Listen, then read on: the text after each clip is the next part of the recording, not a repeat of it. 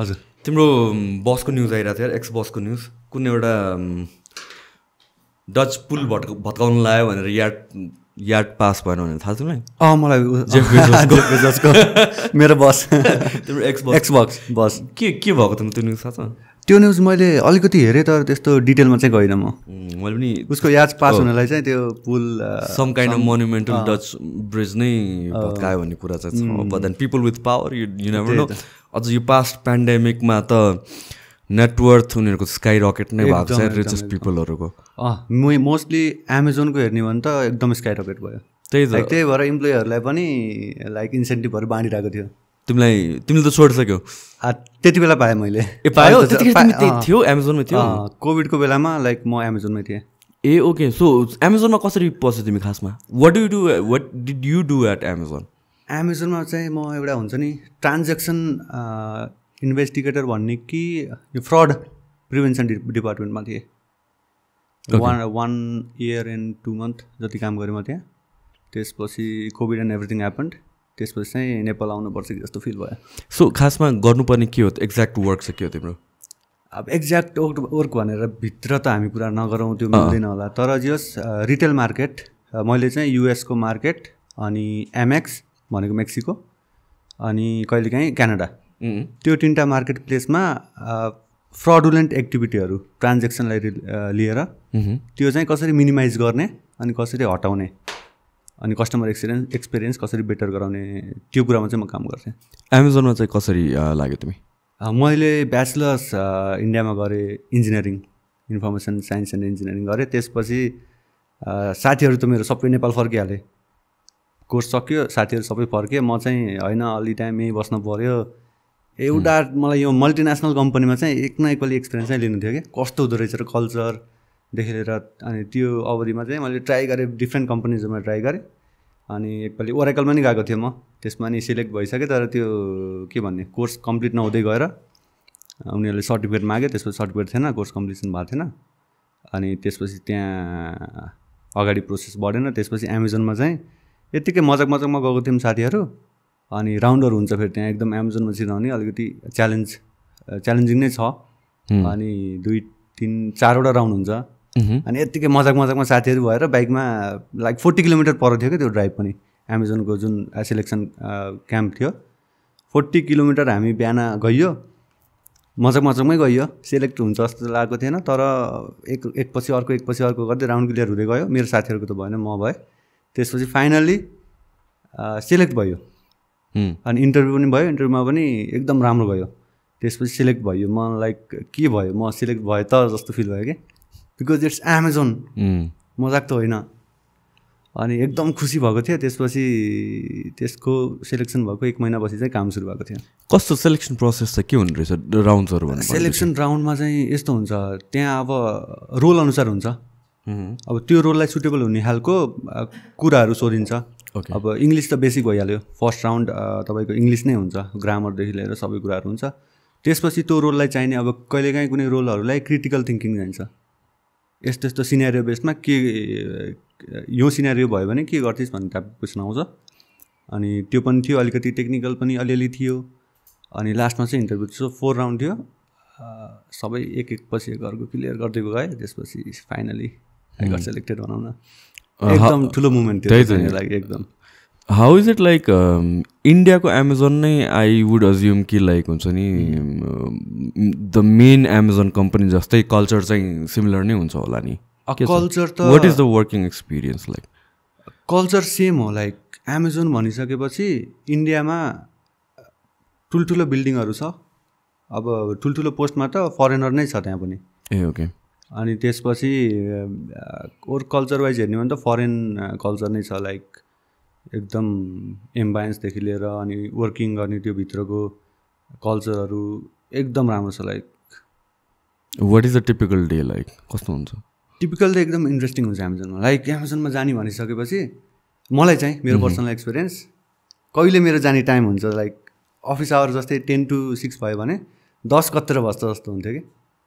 त्यस्तो रमाइलो हुँदो रहेछ। मोस्टली चाहिँ पिपल काम गर्न जाने बेलामा दस त नबजे हुन्थ्यो फेरि जानु पऱ्यो भन्ने त्यो त्यो टाइपको उस हुन्छ। तर एमाजोनमा चाहिँ कत्र टाइम हुन्छ जाने अनि म जान्छु भन्ने टाइपको किन? चाहिँ हुन्थ्यो। किन? I mean is it because तिमीलाई पर्सनली इन्ट्रेस्ट भएर हो कि कि लाइक त्यहाँको इन्भाइरोमेन्ट नै त्यस्तै छ? त्यहाँको इन्भाइरोमेन्ट नै त्यस्तै दाइ एकदम त्यहाँ लाइक बस टाइपको कोही पनि हुँदैन। सबैलाई आफ्नो काम एसाइन गरिदिएको हुन्छ। आफ्नो काम गर्नु पऱ्यो राम्रोसँग त्यसमा चाहिँ कम्प्रोमाइज गर्नु भएन। किन भन्दाखेरि एमाजोन होइन? अफकोर्स त्यसपछि काम आफ्नो राम्रो गरिसकेपछि त्यहाँ अब त्यहाँ क्याफेटेरियादेखि लिएर प्ले ग्रुपदेखि लिएर सबै कुराहरू छ। त्यहाँ गएर मजाले खेल्न पाइयो काउचहरूमा बस्न पाइयो ह्याङआउट गर्न पाइयो।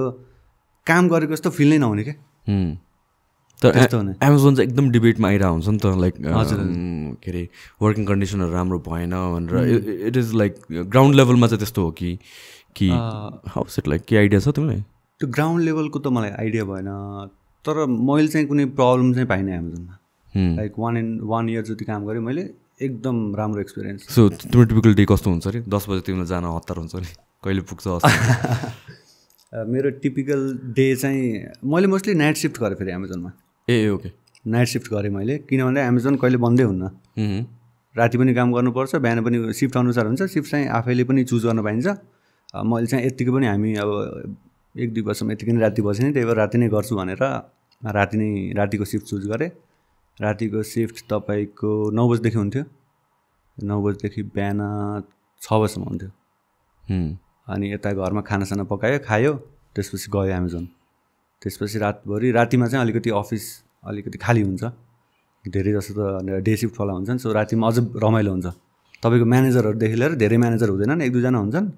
अनि रातिको टाइम भनेको त एकदम रमाइलो टाइम। काम त गर्नु पऱ्यो है काम चाहिँ छोड्नु भएन। काम गरिसकेपछि अरू कुराहरूमा एकदम रमाइलो गफ गफ गरेर एकदम पिकनिक गए जस्तो फिल हुन्थ्यो। अनि त्यस्तो भइसकेपछि त दिनदिनै जानु मन लाग्ने के? त्यस्तो इन्भाइरोमेन्ट क्रिएट गरेको हुन्छ। मलाई लाग्दैन त्यस्तो नेपालमा छ फेरि। मैले साथीहरूको एक्सपिरियन्स सुन्दा त्यस्तो छैन। लाइक आइस आएर जाने बेरसम्म काम गराएको गराइ काम गराएको गराइ एक मिनट पनि फुर्सद छैन भन्ने चाहिँ मैले आफ्नो साथीहरूको एक्सपिरियन्स सुनेर थाहा भएको तर त्यहाँ चाहिँ कम्प्लिटली अपोजिट त्यस्तो प्रेसर पनि नहुने। I think they have figure out एउटा सिस्टम जुन चाहिँ हुन्छ नि मल्टिपल टाइम्स उनीहरूले ट्राई गरेर across different parts of the world across different kind of people अनि ओभर द इयर्स उनीहरूले एउटा सिस्टम फिगर आउट गरेको छ that works for them big multinational company हजुर नेपालको कन्टेक्समा आई थिङ्क केले पनि स्टप गर्छ भनेपछि हाम्रो त यहाँतिर त यो स्टार्टअप कल्चरहरू अनि त्यसपछि यो सबै जुन टेक इन्डस्ट्रीहरू छ दिस इज रिलेटिभली न्यू नि त। हजुर कम्पनीजहरू पनि रिलेटिभली न्यू नै हुन्छ। आई थिङ्क त्यसले गरेर कहाँ कहाँ चाहिँ अलिक गाह्रो भएको हो कि अहिले एट दिस मोमेन्ट जस्तो लाग्छ। इभेन्चुली त इभल्भ हुन्छ होला नि होइन र? हुनैपर्छ यो चाहिँ।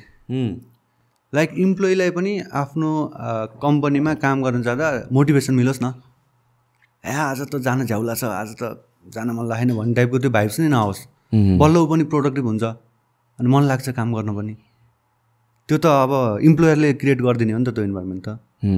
त्यो नेपालमा चाहिँ अलिकति कमी छ जस्तो लाग्छ। अब म त कुनै पनि नेपालको टिपिकल कम्पनीहरूमा काम गरेको छैन सो मलाई पर्सनल एक्सपिरियन्स छैन तर सुनेअनुसार साथीहरूको कुरा। सो तिमीले कति more than a year one year and two month one and two month अनि was it like the same kind of work गर्ने कि कस्तो यस्तो आफ्नो काम त सेम हुन्छ। तर आफू एडिसनल अरू पनि कुराहरूमा आफू एट्याच हुन पाइन्छ। जस्तै म आफ्नो काम त गर्थेँ नै तर मलाई अलिकति क्रिएटिभ साइडतिर पनि इन्ट्रेस्ट लाग्थ्यो। सो मैले यो हाम्रो इभेन्टहरू हुन्छ बेला विकली इभेन्ट हुन्छ मन्थली इभेन्ट हुन्छ त्यसमा ग्राफिक डिजाइन गर्ने त्यो इभेन्टको लागि एडिटिङहरू गर्ने त्यो सबै कुराहरूमा इन्भल्भ थिएँ। सो आ, आफ्नो कामलाई अगाडि बढाउँदा बढाउँदै अरू कुराहरूमा इन्भल्भ भएर जस्ट ओभरअल ग्रोथ चाहिँ हुन्थ्यो। तिमी अनि नेपाली सिटिजनसिप भए पनि इन्डियामा चाहिँ काम गर्न पाइन्छ? इन्डियामा काम गर्न पाइन्छ। यस्तो छ इन्डियाको सिस्टम फेरि एकदम कन्ट्रोभर्सियल कुरा छ।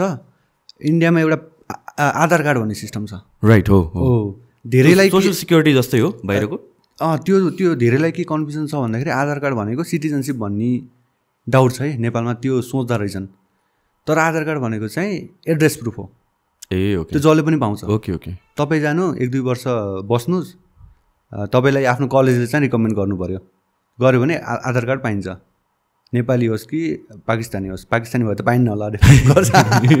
पाकिस्तानी त पाइन्न होला। तर जे होस् कुन कन्ट्रीबाट आएको भनेर लाइक मलाई त्यो प्रब्लम नै भएन क्या मलाई कलेजले एउटा बोनाफाइड लेटर लेखिदियो।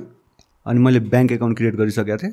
अनि त्यति दुइटा प्रुफ भइसकेपछि गएँ फोटो खिचाएँ यो सबै बायोमेट्रिकहरू। त्यसपछि कहाँ हो के हो कुन कन्ट्रीबाट आएको त्यो कुनै पनि त्यस्तो क्वेसन जुन पनि वर्कको लागि एलिजिबल भयो। नेपालको कन्टेक्समा बाहिरको मान्छेले आएर काम गर्नु पाउँछ कि पाउँदैन कि? इज देयर सेपरेट प्रोसेस नेपालको कन्टेक्स्टमा चाहिँ पाउँदैन होला।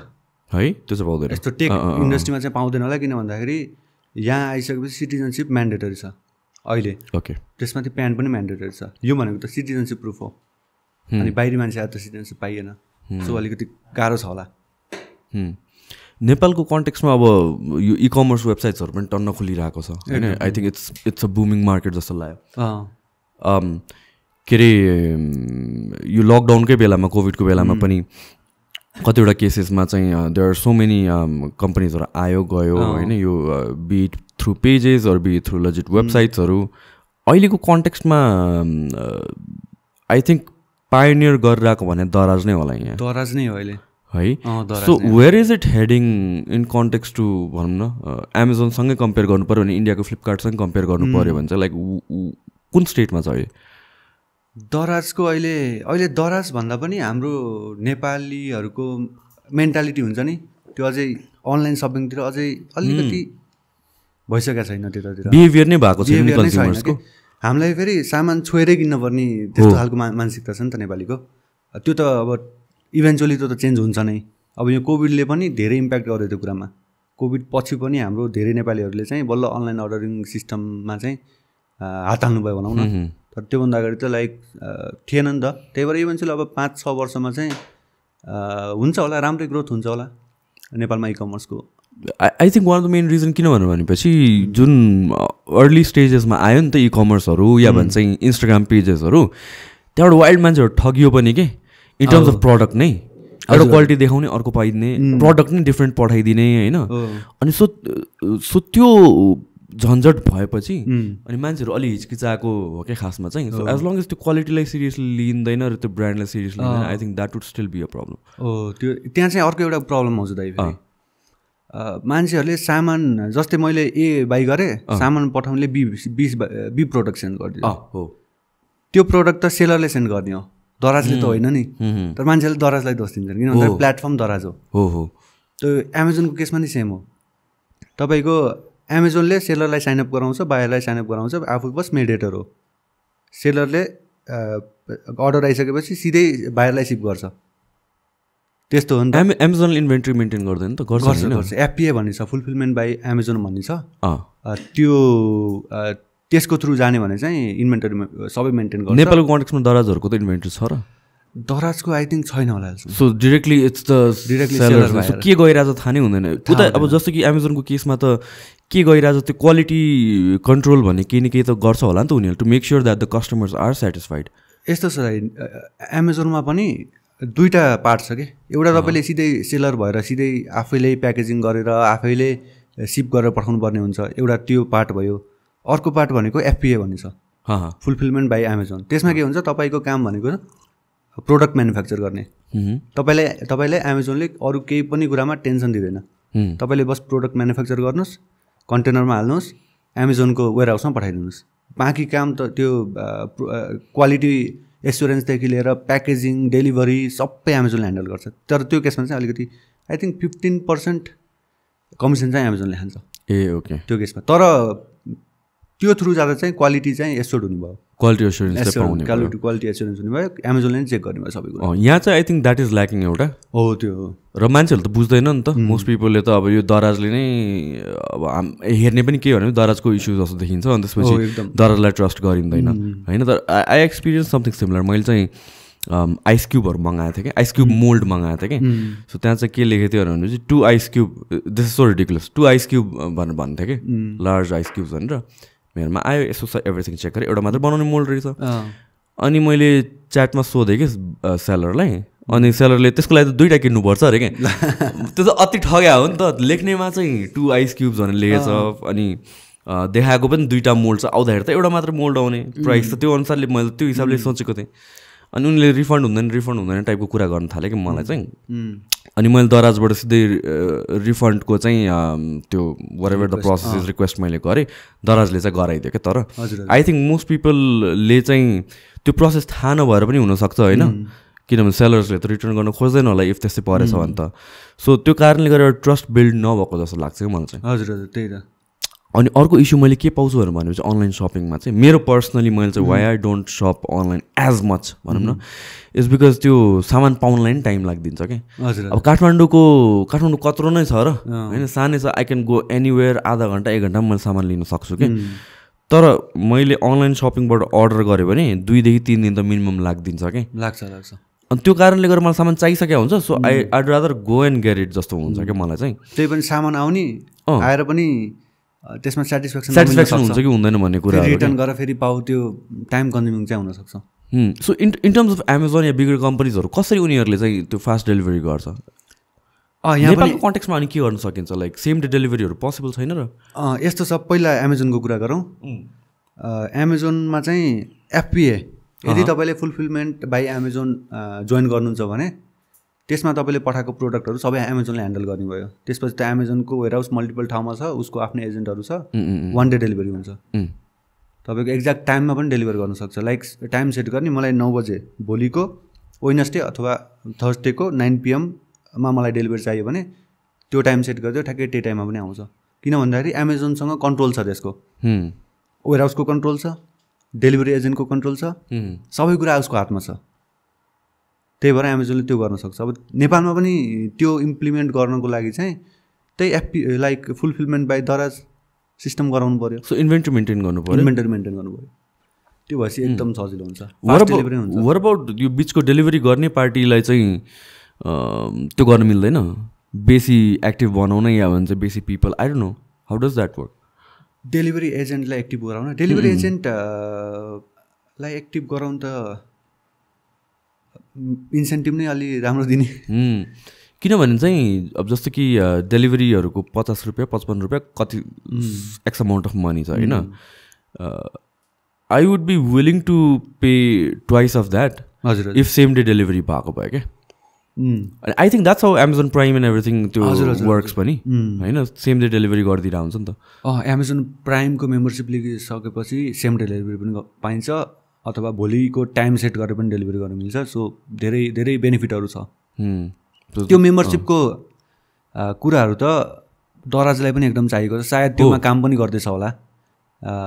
छिटै आउँछ होला त्यो सबै कुराहरू पनि। अरू के च्यालेन्जेस छ जस्तो लाग्छ यार नेपालको कन्टेक्समा नेपालमा च्यालेन्जेसहरू त अब मेन त मान्छेको मेन्टालिटी नै हो। त्यो साइडतिर पनि बिस्तारै बिस्तारै ट्रस्ट गेन पनि गर्नु पऱ्यो मैले देखिरहेको हुन्छु सोसियल मिडियामा दराजलाई दोष दिएर हुन्छ। हो हुन त अब प्लेटफर्म दराज छ दराजले कमिसन खाइरहेको छ भनेपछि त दोष त डाइरेक्टली इन्डाइरेक्टली जानु नै पऱ्यो दराजलाई। तर पनि त्यो दोष चाहिँ सेलरको गलत आइटम पठाउनुमा। त्यो कुराहरू चाहिँ बिस्तारै बिस्तारै बुझ्छौँ हामीले। आई थिङ्क दराज कम्पनी पनि उनीहरूले गर्छ होला। गर्छ होला। अलिबाबाले उस गर्यो नि त दराजलाई त। पर्चेस गरेको त्यो त नि धेरै। त नै भइसक्यो। अब त राम्रो हुन्छ होला। नेपालकै नेसनल कम्पनीजहरूले गर्न सक्छ। फर इक्जाम्पल समथिङ लाइक सस्तो डिल धेरै अगाडिदेखि आएको हो नि त। होइन? So where is it at compare to like हुन्छ दराज सस्तो डिल मैले चाहिँ एक्सपिरियन्स छैन मेरो सस्तो डिलको है। मैले दराजबाट फ्यु टाइम्स पर्चेस गरेको छु। अब दराज अलिबाबाको हुने भइसकेपछि त्यसमा अब दराजसँग धेरै पावर पनि हुने भयो कि। फन्डको कुरा पनि आउने भयो होइन? अनलिमिटेड फन्ड नै भयो अनलिमिटेड फन्ड भयो नि त। अब दराजको हेर्नुभयो भने क्याम्पेनहरू कुनै क्याम्पेनहरू गऱ्यो भने पुरै सेलिब्रिटीहरू इन्भाइट गरेर हुन्छ कि. अनि इभेन्टहरू पनि एकदम ग्रान्ड गरिरहेको हुन्छ। तर सस्तो डिलले अब नेपालको कम्पनी त्यस्तो ग्रान्ड गर्न गाह्रो गाह्रै हुन्छ। फन्डकै कुरा पनि आउनसक्छ। त्यो कुरा। इन टर्म्स अफ युट्युबमा कसरी लाग्यो? कन्टेन्टमा कसरी लाग्यो? मैले चाहिँ तिमीलाई डिस्कभर गरेको भनेको चाहिँ टिकटकमा हो हेर है। मोस्ट पिपलले मैले यहाँ तिम्रो बारेमा कुरा गर्दा पनि दे आर लाइक आइपिओ दाई भनेर भन्छ कि हजुर हजुर भन्छ मलाई। सो कसरी तिमीले स्टार्ट गर्यो कन्टेन्ट वाइज यस्तो भयो म चाहिँ कन्टेन्ट बनाउने प्लान नै थिएन मेरो। म एकदम इन्ट्रोभर्ट गाई हो फेरि। धेरैलाई थाहा नहुन सक्छ त्यो कुरा युट्युब भिडियो हेर्दा है। हुँ, एकदम इन्ट्रोभर्ट म। क्यामेरा अगाडि आएर भिडियो बनाउनु भनेको त मेरो लागि एकदम बिग डिल नै थियो। अनि तर के भयो भन्दाखेरि मैले लाइफमा धेरै कुराहरू एक्सपिरियन्स गरेँ। इन्डिया हुँदा। मोस्टली नेपालमै भएको भए सायद त्यो कुराहरू एक्सपिरियन्स गर्न पाउँथेन होला। इन्डियामा गएर मैले धेरै कुरा एक्सपिरियन्स गरेँ। फ्रिल्यान्सिङको कुरा त्यो पनि पछि हामीले जोडिन्छ होला। त्यसपछि मलाई के फिल भयो भन्दाखेरि त्यति बेला मैले जुन बेला फ्रिल्यान्सिङ स्टार्ट गरेको थिएँ। त्यति बेला नेपालमा बस्ने मेरो साथीहरूदेखि लिएर धेरैलाई फ्रिल्यान्सिङको बारेमा थाहै रहन्छ। तिमीले चाहिँ उता इन्डियामै हुँदाखेरि इन्डियामै हुँदा गरेँ। टु थाउजन्ड सिक्सटिन लाइक म सेकेन्ड इयरतिर थिएँ होला इन्जिनियरिङको मैले फ्रिल्यान्सिङ सुरु गरेर राम्रो एकदम ग्रोथ राम्रो भइरहेको थियो इन्कम राम्रो भइरहेको थियो। अनि त्यस्तो भइरहेछ जब कि नेपालमा धेरैलाई थाहै रहन्छ। अनि त्यो कुरा सुनेर चाहिँ मैले होइन आफ्नो साइडबाट एउटा केही न केही त दिनुपर्छ। होइन? थाहा रहेन चाहिँ यो एउटा त नेपालमा त अपर्च्युनिटीको कमी छ नि त कम्पेरिटिभली टु इन्डिया अफकोर्स अनि नेपालीहरूले पनि जस धेरैले अप्परको बारेमा थाहा पायो भने ट्यालेन्ट त छ फेरि नेपालमा। ट्यालेन्टको कमी छैन। भने त केही न केहीले त अलिकति आफ्नो हुन्छ नि फाइनेन्स अलिकति स्ट्रङ बनाउन सकिन्छ फ्रिल्यान्सिङबाट डलरमा इन्कम हुन्छ त्यसमा। त्यसपछि मैले त्यही सोचले मैले धेरै कुरा एक्सपिरियन्स गरेको छु like freelancing drop shipping drop shipping drop shipping पनि मैले एक्सपिरियन्स गरेको छु। Drop ship shipping is it relevant अहिले ट्वेन्टी ट्वेन्टी टूमा आएर? छ दाइ हो र अहिले पनि छिर्न चाहिँ इज इट सजिलो नि छ र त्यो जुन एउटा हाइप थियो एटिन नाइन्टिनतिर त धेरैजनाले छिर्यो नि त त्यहाँ ड्रप सिपिङहरूमा ड्रप सिपिङमा छिर्न खोज्यो भने अहिले पनि सकिन्छ। तर मार्केट एकदम सेचुरेटेड भएको त्यही भन्नु हाई। कम्पिटिसन छ ड्रप हो। सो हाइली रिस्की छ त्यो चाहिँ। रिवार्ड भन्दा यहाँ रिस्कको कुरा बढी छ। त्यसमाथि इन्भेस्टमेन्ट पनि अलिक बढी नै लाग्छ। सो एउटा नर्मल मान्छेको लागि ड्रप सिपिङमा छिर्न अलिक गाह्रै हुन्छ। Plus I heard content context where चाहिँ अब कोही एकजनाले चाहिँ एउटा प्रडक्ट चाहिँ ड्रपसिपको लागि त्यहाँ एमाजोनमा लिस्ट गर्यो। अनि आफ्टर वाइल त्यो सक्सेसफुल देख्यो भने एमाजोनले नै प्रड्युस गरिदिनु थाल्छ क्या। अन्त त्यो त्यो पर्सनलाई नै हटाइदिन्छ। सो यो एथिक्सको कुराहरू पनि कति आउँछ कि फेरि? आउँछ। तर ड्रप सिपिङ यो हाम्रो युकेतिर युएसतिर युरोपियन कन्ट्रीहरूमा जति पनि एमाजोनमा सामानहरू छ नि धेरै जसो त सबै त्यही अलिबाबाबाटै इम्पोर्टेड सामानहरू हो। ए ओके उहीँबाट इम्पोर्ट गर्छन् अनि त्यहाँ राख्छन् कतिले ड्रप सिप गर्छन्। त्यस्तो छ। अब नेपालबाट पनि सक्सेस पाएको छन् ड्रप सिपिङमा तर मैले पनि ट्राई गरेको थिएँ। बजेट प्रब्लमले चाहिँ म अलिकति आउट हुनु पऱ्यो त्यसमा। सेल्सहरू बनाइरहेको थिएँ मैले चार पाँचवटा सेल्स बनाएको थिएँ। त्यो चार पाँचवटा सेल्स पाउनु भनेको पनि एउटा ठुलो सक्सेस जस्तो तर फन्ड नै भयो। एडभर्टिजमेन्ट गर्न फेसबुक बुस्टिङ गर्न फन्ड नै छैन। के गर्ने? अप्सन नै रहेन कि? त्यही भएर छोड्नु पऱ्यो मलाई। इन टर्म्स अफ के अरे जस्तो कि फ्रिल्यान्सिङ गरौँ या भन्छ एमाजोनमा तिम्रो ड्रप सिपिङ गरौँ वरेभर इट इज अनलाइन अनि पेमेन्ट एक्सेप्ट गर्नलाई गाह्रो छ नि नेपालमा इन्टरनेसनल पेमेन्टहरू नेपालमा गाह्रो छ दाइ मेन च्यालेन्ज भनेको नेपालमा त्यही नै हो। पेमेन्ट रिसिभ गर्नै मिल्दैन। अनि कसरी गर्नु त? वाट इज द सल्युसन त्यही हो नेपालीहरूले गर्ने छ भने त अब यो फेरि अलिकति अब इलिगल तिर गयो नि त होइन र अब फाइभ हन्ड्रेड डलर त स्पेन्ड गर्न दिएको छ एनआरबीले तर अब ड्रप सिपिङ त फाइभ हन्ड्रेड डलर त काम छैन। त्यो त उत्तिकै भइन्छ। अब त्योभन्दा बढी स्पेन्ड गर्नु त अब गाह्रै भयो गाह्रै भयो अहिले त्यही भएर नेपालबाट मिल्दैन भनौँ। सो सो जस्तो कि अब युट्युबको भयो यता वेस्टर्न युनियनबाट आउँछ ट्याक्सेस बाहिर काटेर आएको आएको हुन्छ होइन? So that is in a way illegit way तर डिफ्रेन्ट यो वर्कहरूको बेसिसमा पैसा कमाउँछ नेपालमा अहिले पनि गाह्रो छ टु फाइन्ड द्याट एउटा प्रपर पेमेन्ट गेटवे या एनिथिङ अ, यस्तो छ अपवर्क फ्रिल्यान्सिङ प्लेटफर्म जुन अपवर्कको कुरामा त्यसले चाहिँ लोकल ब्याङ्कमै पेमेन्ट सेन्ड गरिदिन्छ। ए ओके लोकल ब्याङ्क जस्तै हाम्रो लोकल ब्याङ्कहरू कमर्सियल ब्याङ्कमा चाहिँ उसले उता के अरे पेमेन्ट सेन्ड गरिदिन्छ। त्यो पनि like twenty four to forty eight आवर्समै receive गर्न मिल्छ। ए ओके त्यसले गर्दा चाहिँ एकदम सजिलो बनाएको छ। सबै प्लेटफर्ममा ब्याङ्क विड्रल पोसिबल छैन। तर अपवर्कमा चाहिँ पहिलेदेखि पोसिबल थियो मैले गर्दादेखि नै अनि त्यसले गर्दा सजिलो बनाएको छ। अपवर्कमा कस्तो पोसिबिलिटिजहरू छ फर फ्रिल्यान्सर एकदम राम्रो छ दाइ। हामीले के के गर्न मिल्छ भन्नु खोजेँ मैले जे पनि गर्न मिल्छ।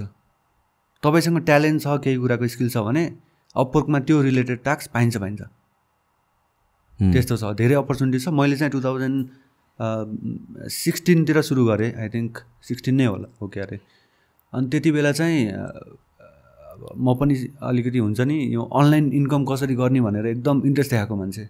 लाइक एघार बाह्रमा पढ्ने बेलादेखि नै कसरी अनलाइनबाट इन्कम गर्ने होला भनेर सोचिरहेको थिएँ।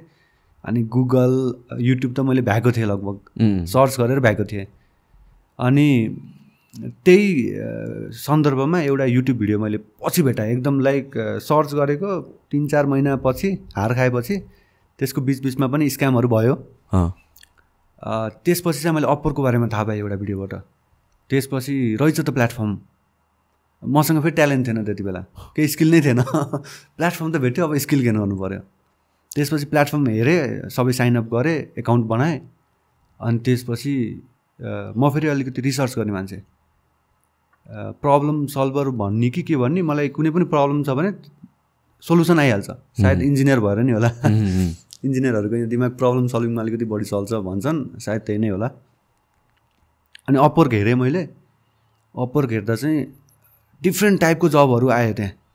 तपाईँको वेब डेभलपमेन्ट रिलेटेड आयो एप डेभलपमेन्ट रिलेटेड आयो तपाईँको सजिलोमा नेपालको translation uh English to Nepali. Translation uh.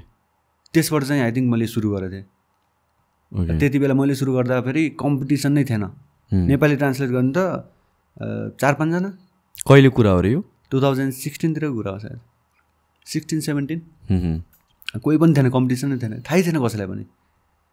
अनि मैले सायद ट्रान्सलेसनबाटै सुरु गरेँ। English to Nepali Nepali to English बाइस वर्ष अनि त्यसबाट राम्रो हुँदै गयो दाइ। एकदम राम्रो इन्कम आउँदै गयो। सुरुमा त अफकोर्स फाइभ डलरबाट सुरु हुँदै गयो। अनि त्यसपछि बिगर प्रोजेक्ट आउँदै गयो। अनि त्यही ट्रान्सलेसनबाट पनि एकदम राम्रो इन्कम हुन थाल्यो। ट्रान्सलेसन गर्न फेरि त्यो ठुलो त्यो सिक्न ठुलो कुरो होइन कि? त्यो एकदम इजिली सिक्ने पनि सिक्न सकिने कुरा हो। अनि त्यसबाट पनि डलरमा इन्कम हुँदा त म त। बिस्तारै बिस्तारै त एकदम राम्रो हुँदै गयो। त्यसपछि ट्रान्सलेसनको ने इङ्ग्लिस टु नेपाली फेरि एकदम कम हुन्छ प्रोजेक्टहरू। ए ओके। नेपाली ट्रान्सलेसन कसलाई चाहिन्छ र भन्ने खालको होइन। एकदम कम हुन्छ अनि त्यसपछि यसरी त म एक्सपान्ड हुन सक्दिनँ। ट्रान्सलेसन प्रोजेक्ट एक महिनामा दुइटा आएको छ। त्यो दुइटामा जे दुइटै जस्तो मैले पाउँथेँ कि। कम्पिटिसन नै थिएन। आफ्नो प्रोफाइल एकदम राम्रो बनाइसकेपछि पाइन्थ्यो। अनि त्यसपछि अब त मलाई एक्सपान्ड गर्नु छ ग्रो गर्नु छ। त्यही ट्रान्सलेसनमा अड गरेर त म बस्दिनँ। थिङ्क त मेरो मैले त मेरो थिङ्किङ बिग छ होइन? त्यसपछि अब कुन फिल्डमा जाने होला त? स्किल थिएन मसँग। एक्स्ट्रा स्किल थिएन। त्यसपछि मैले हेर्दै गएँ। जब पोस्टहरू हेर्न मिल्छ त्यहाँ। कस्तो कस्तोको बढी डिमान्ड रहेछ। अनि सप्लाई कम रहेछ। डिमान्ड के को बढी छ? ए त्यो पनि चेक गर्नु मिल्छ चेक गर्न? मिल्छ के गर्न मिल्छ भन्दाखेरि कुनै पनि एउटा टपिक दिनुहोस् जस्तै भिडियो एडिटिङ। सर्च गर्नुहोस् त्यसमा पोस्टहरू आउँछ अपवर्कमा त्यसो त्यहाँभित्र गएर तपाईँले हेर्न मिल्छ कतिवटा प्रपोजल पठाइरहेको छन् मान्छेहरूले। कतिजना मान्छे मान्छेले त्यसमा प्रपोजल पठाएछन् भनेको सप्लाई कति छ। अनि मैले हेर्न थालेँ त्यसपछि यो वेब डेभलपमेन्टमा छिरेँ म त्यसपछि। आफै सिकेर? अँ भन्दैछु म। त्यसपछि वेब डेभलपमेन्टमा स्कोप देखेँ मैले। एकदम धेरै पोस्टहरू भइरहेछ। त्यति बेला त्यस्तो धेरै सप्लाई पनि रहेनछ अनि मैले अब वेब डेभलपमेन्ट सिक्नु पऱ्यो त्यसपछि वेब डेभलपमेन्ट सिक्दा यो वर्डप्रेसको कुरा आयो त्यसपछि। अब टिपिकल कोड गरेर पनि सिक्न सक्यो त्यो फेरि एकदम टाइम लाग्ने कुरा हो।